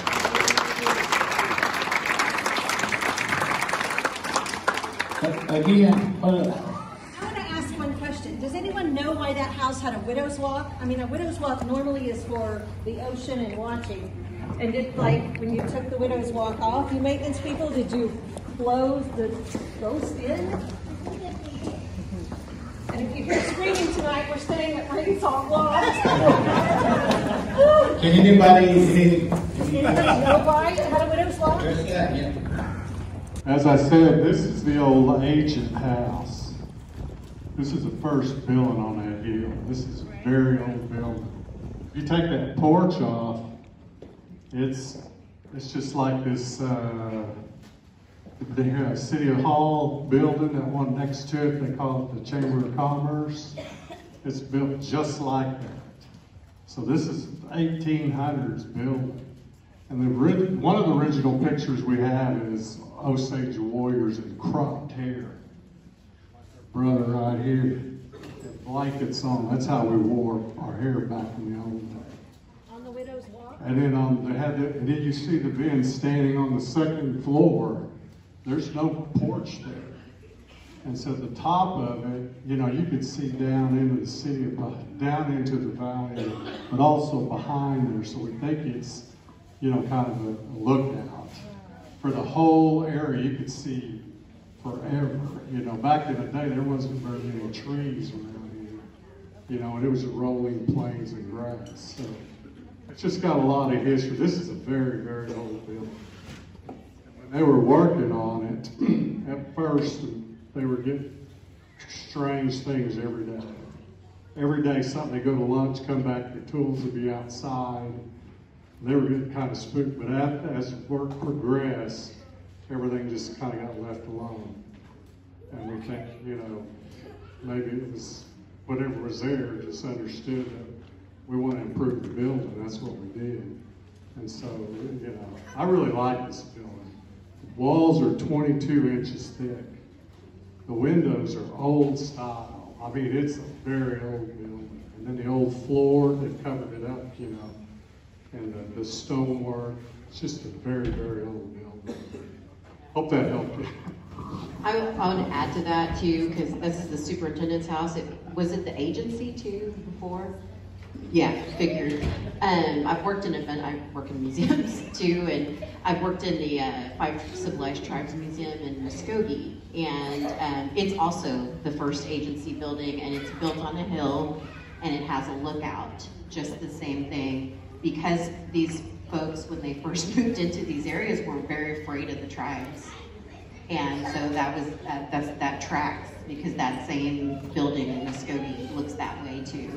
Um, that one, I, I think, I don't know how rugged the Osages were, but later on with that building in, in Muskogee, they realized that these, the natives in that area were a little bit more friendly, and they moved it downtown that hill, but, um, very soon after that, but, um, that's also that kind of same build, sandstone, has a second floor porch and balcony, and it really, I do think that's what they built it for, and they had the same kind of things in mind there.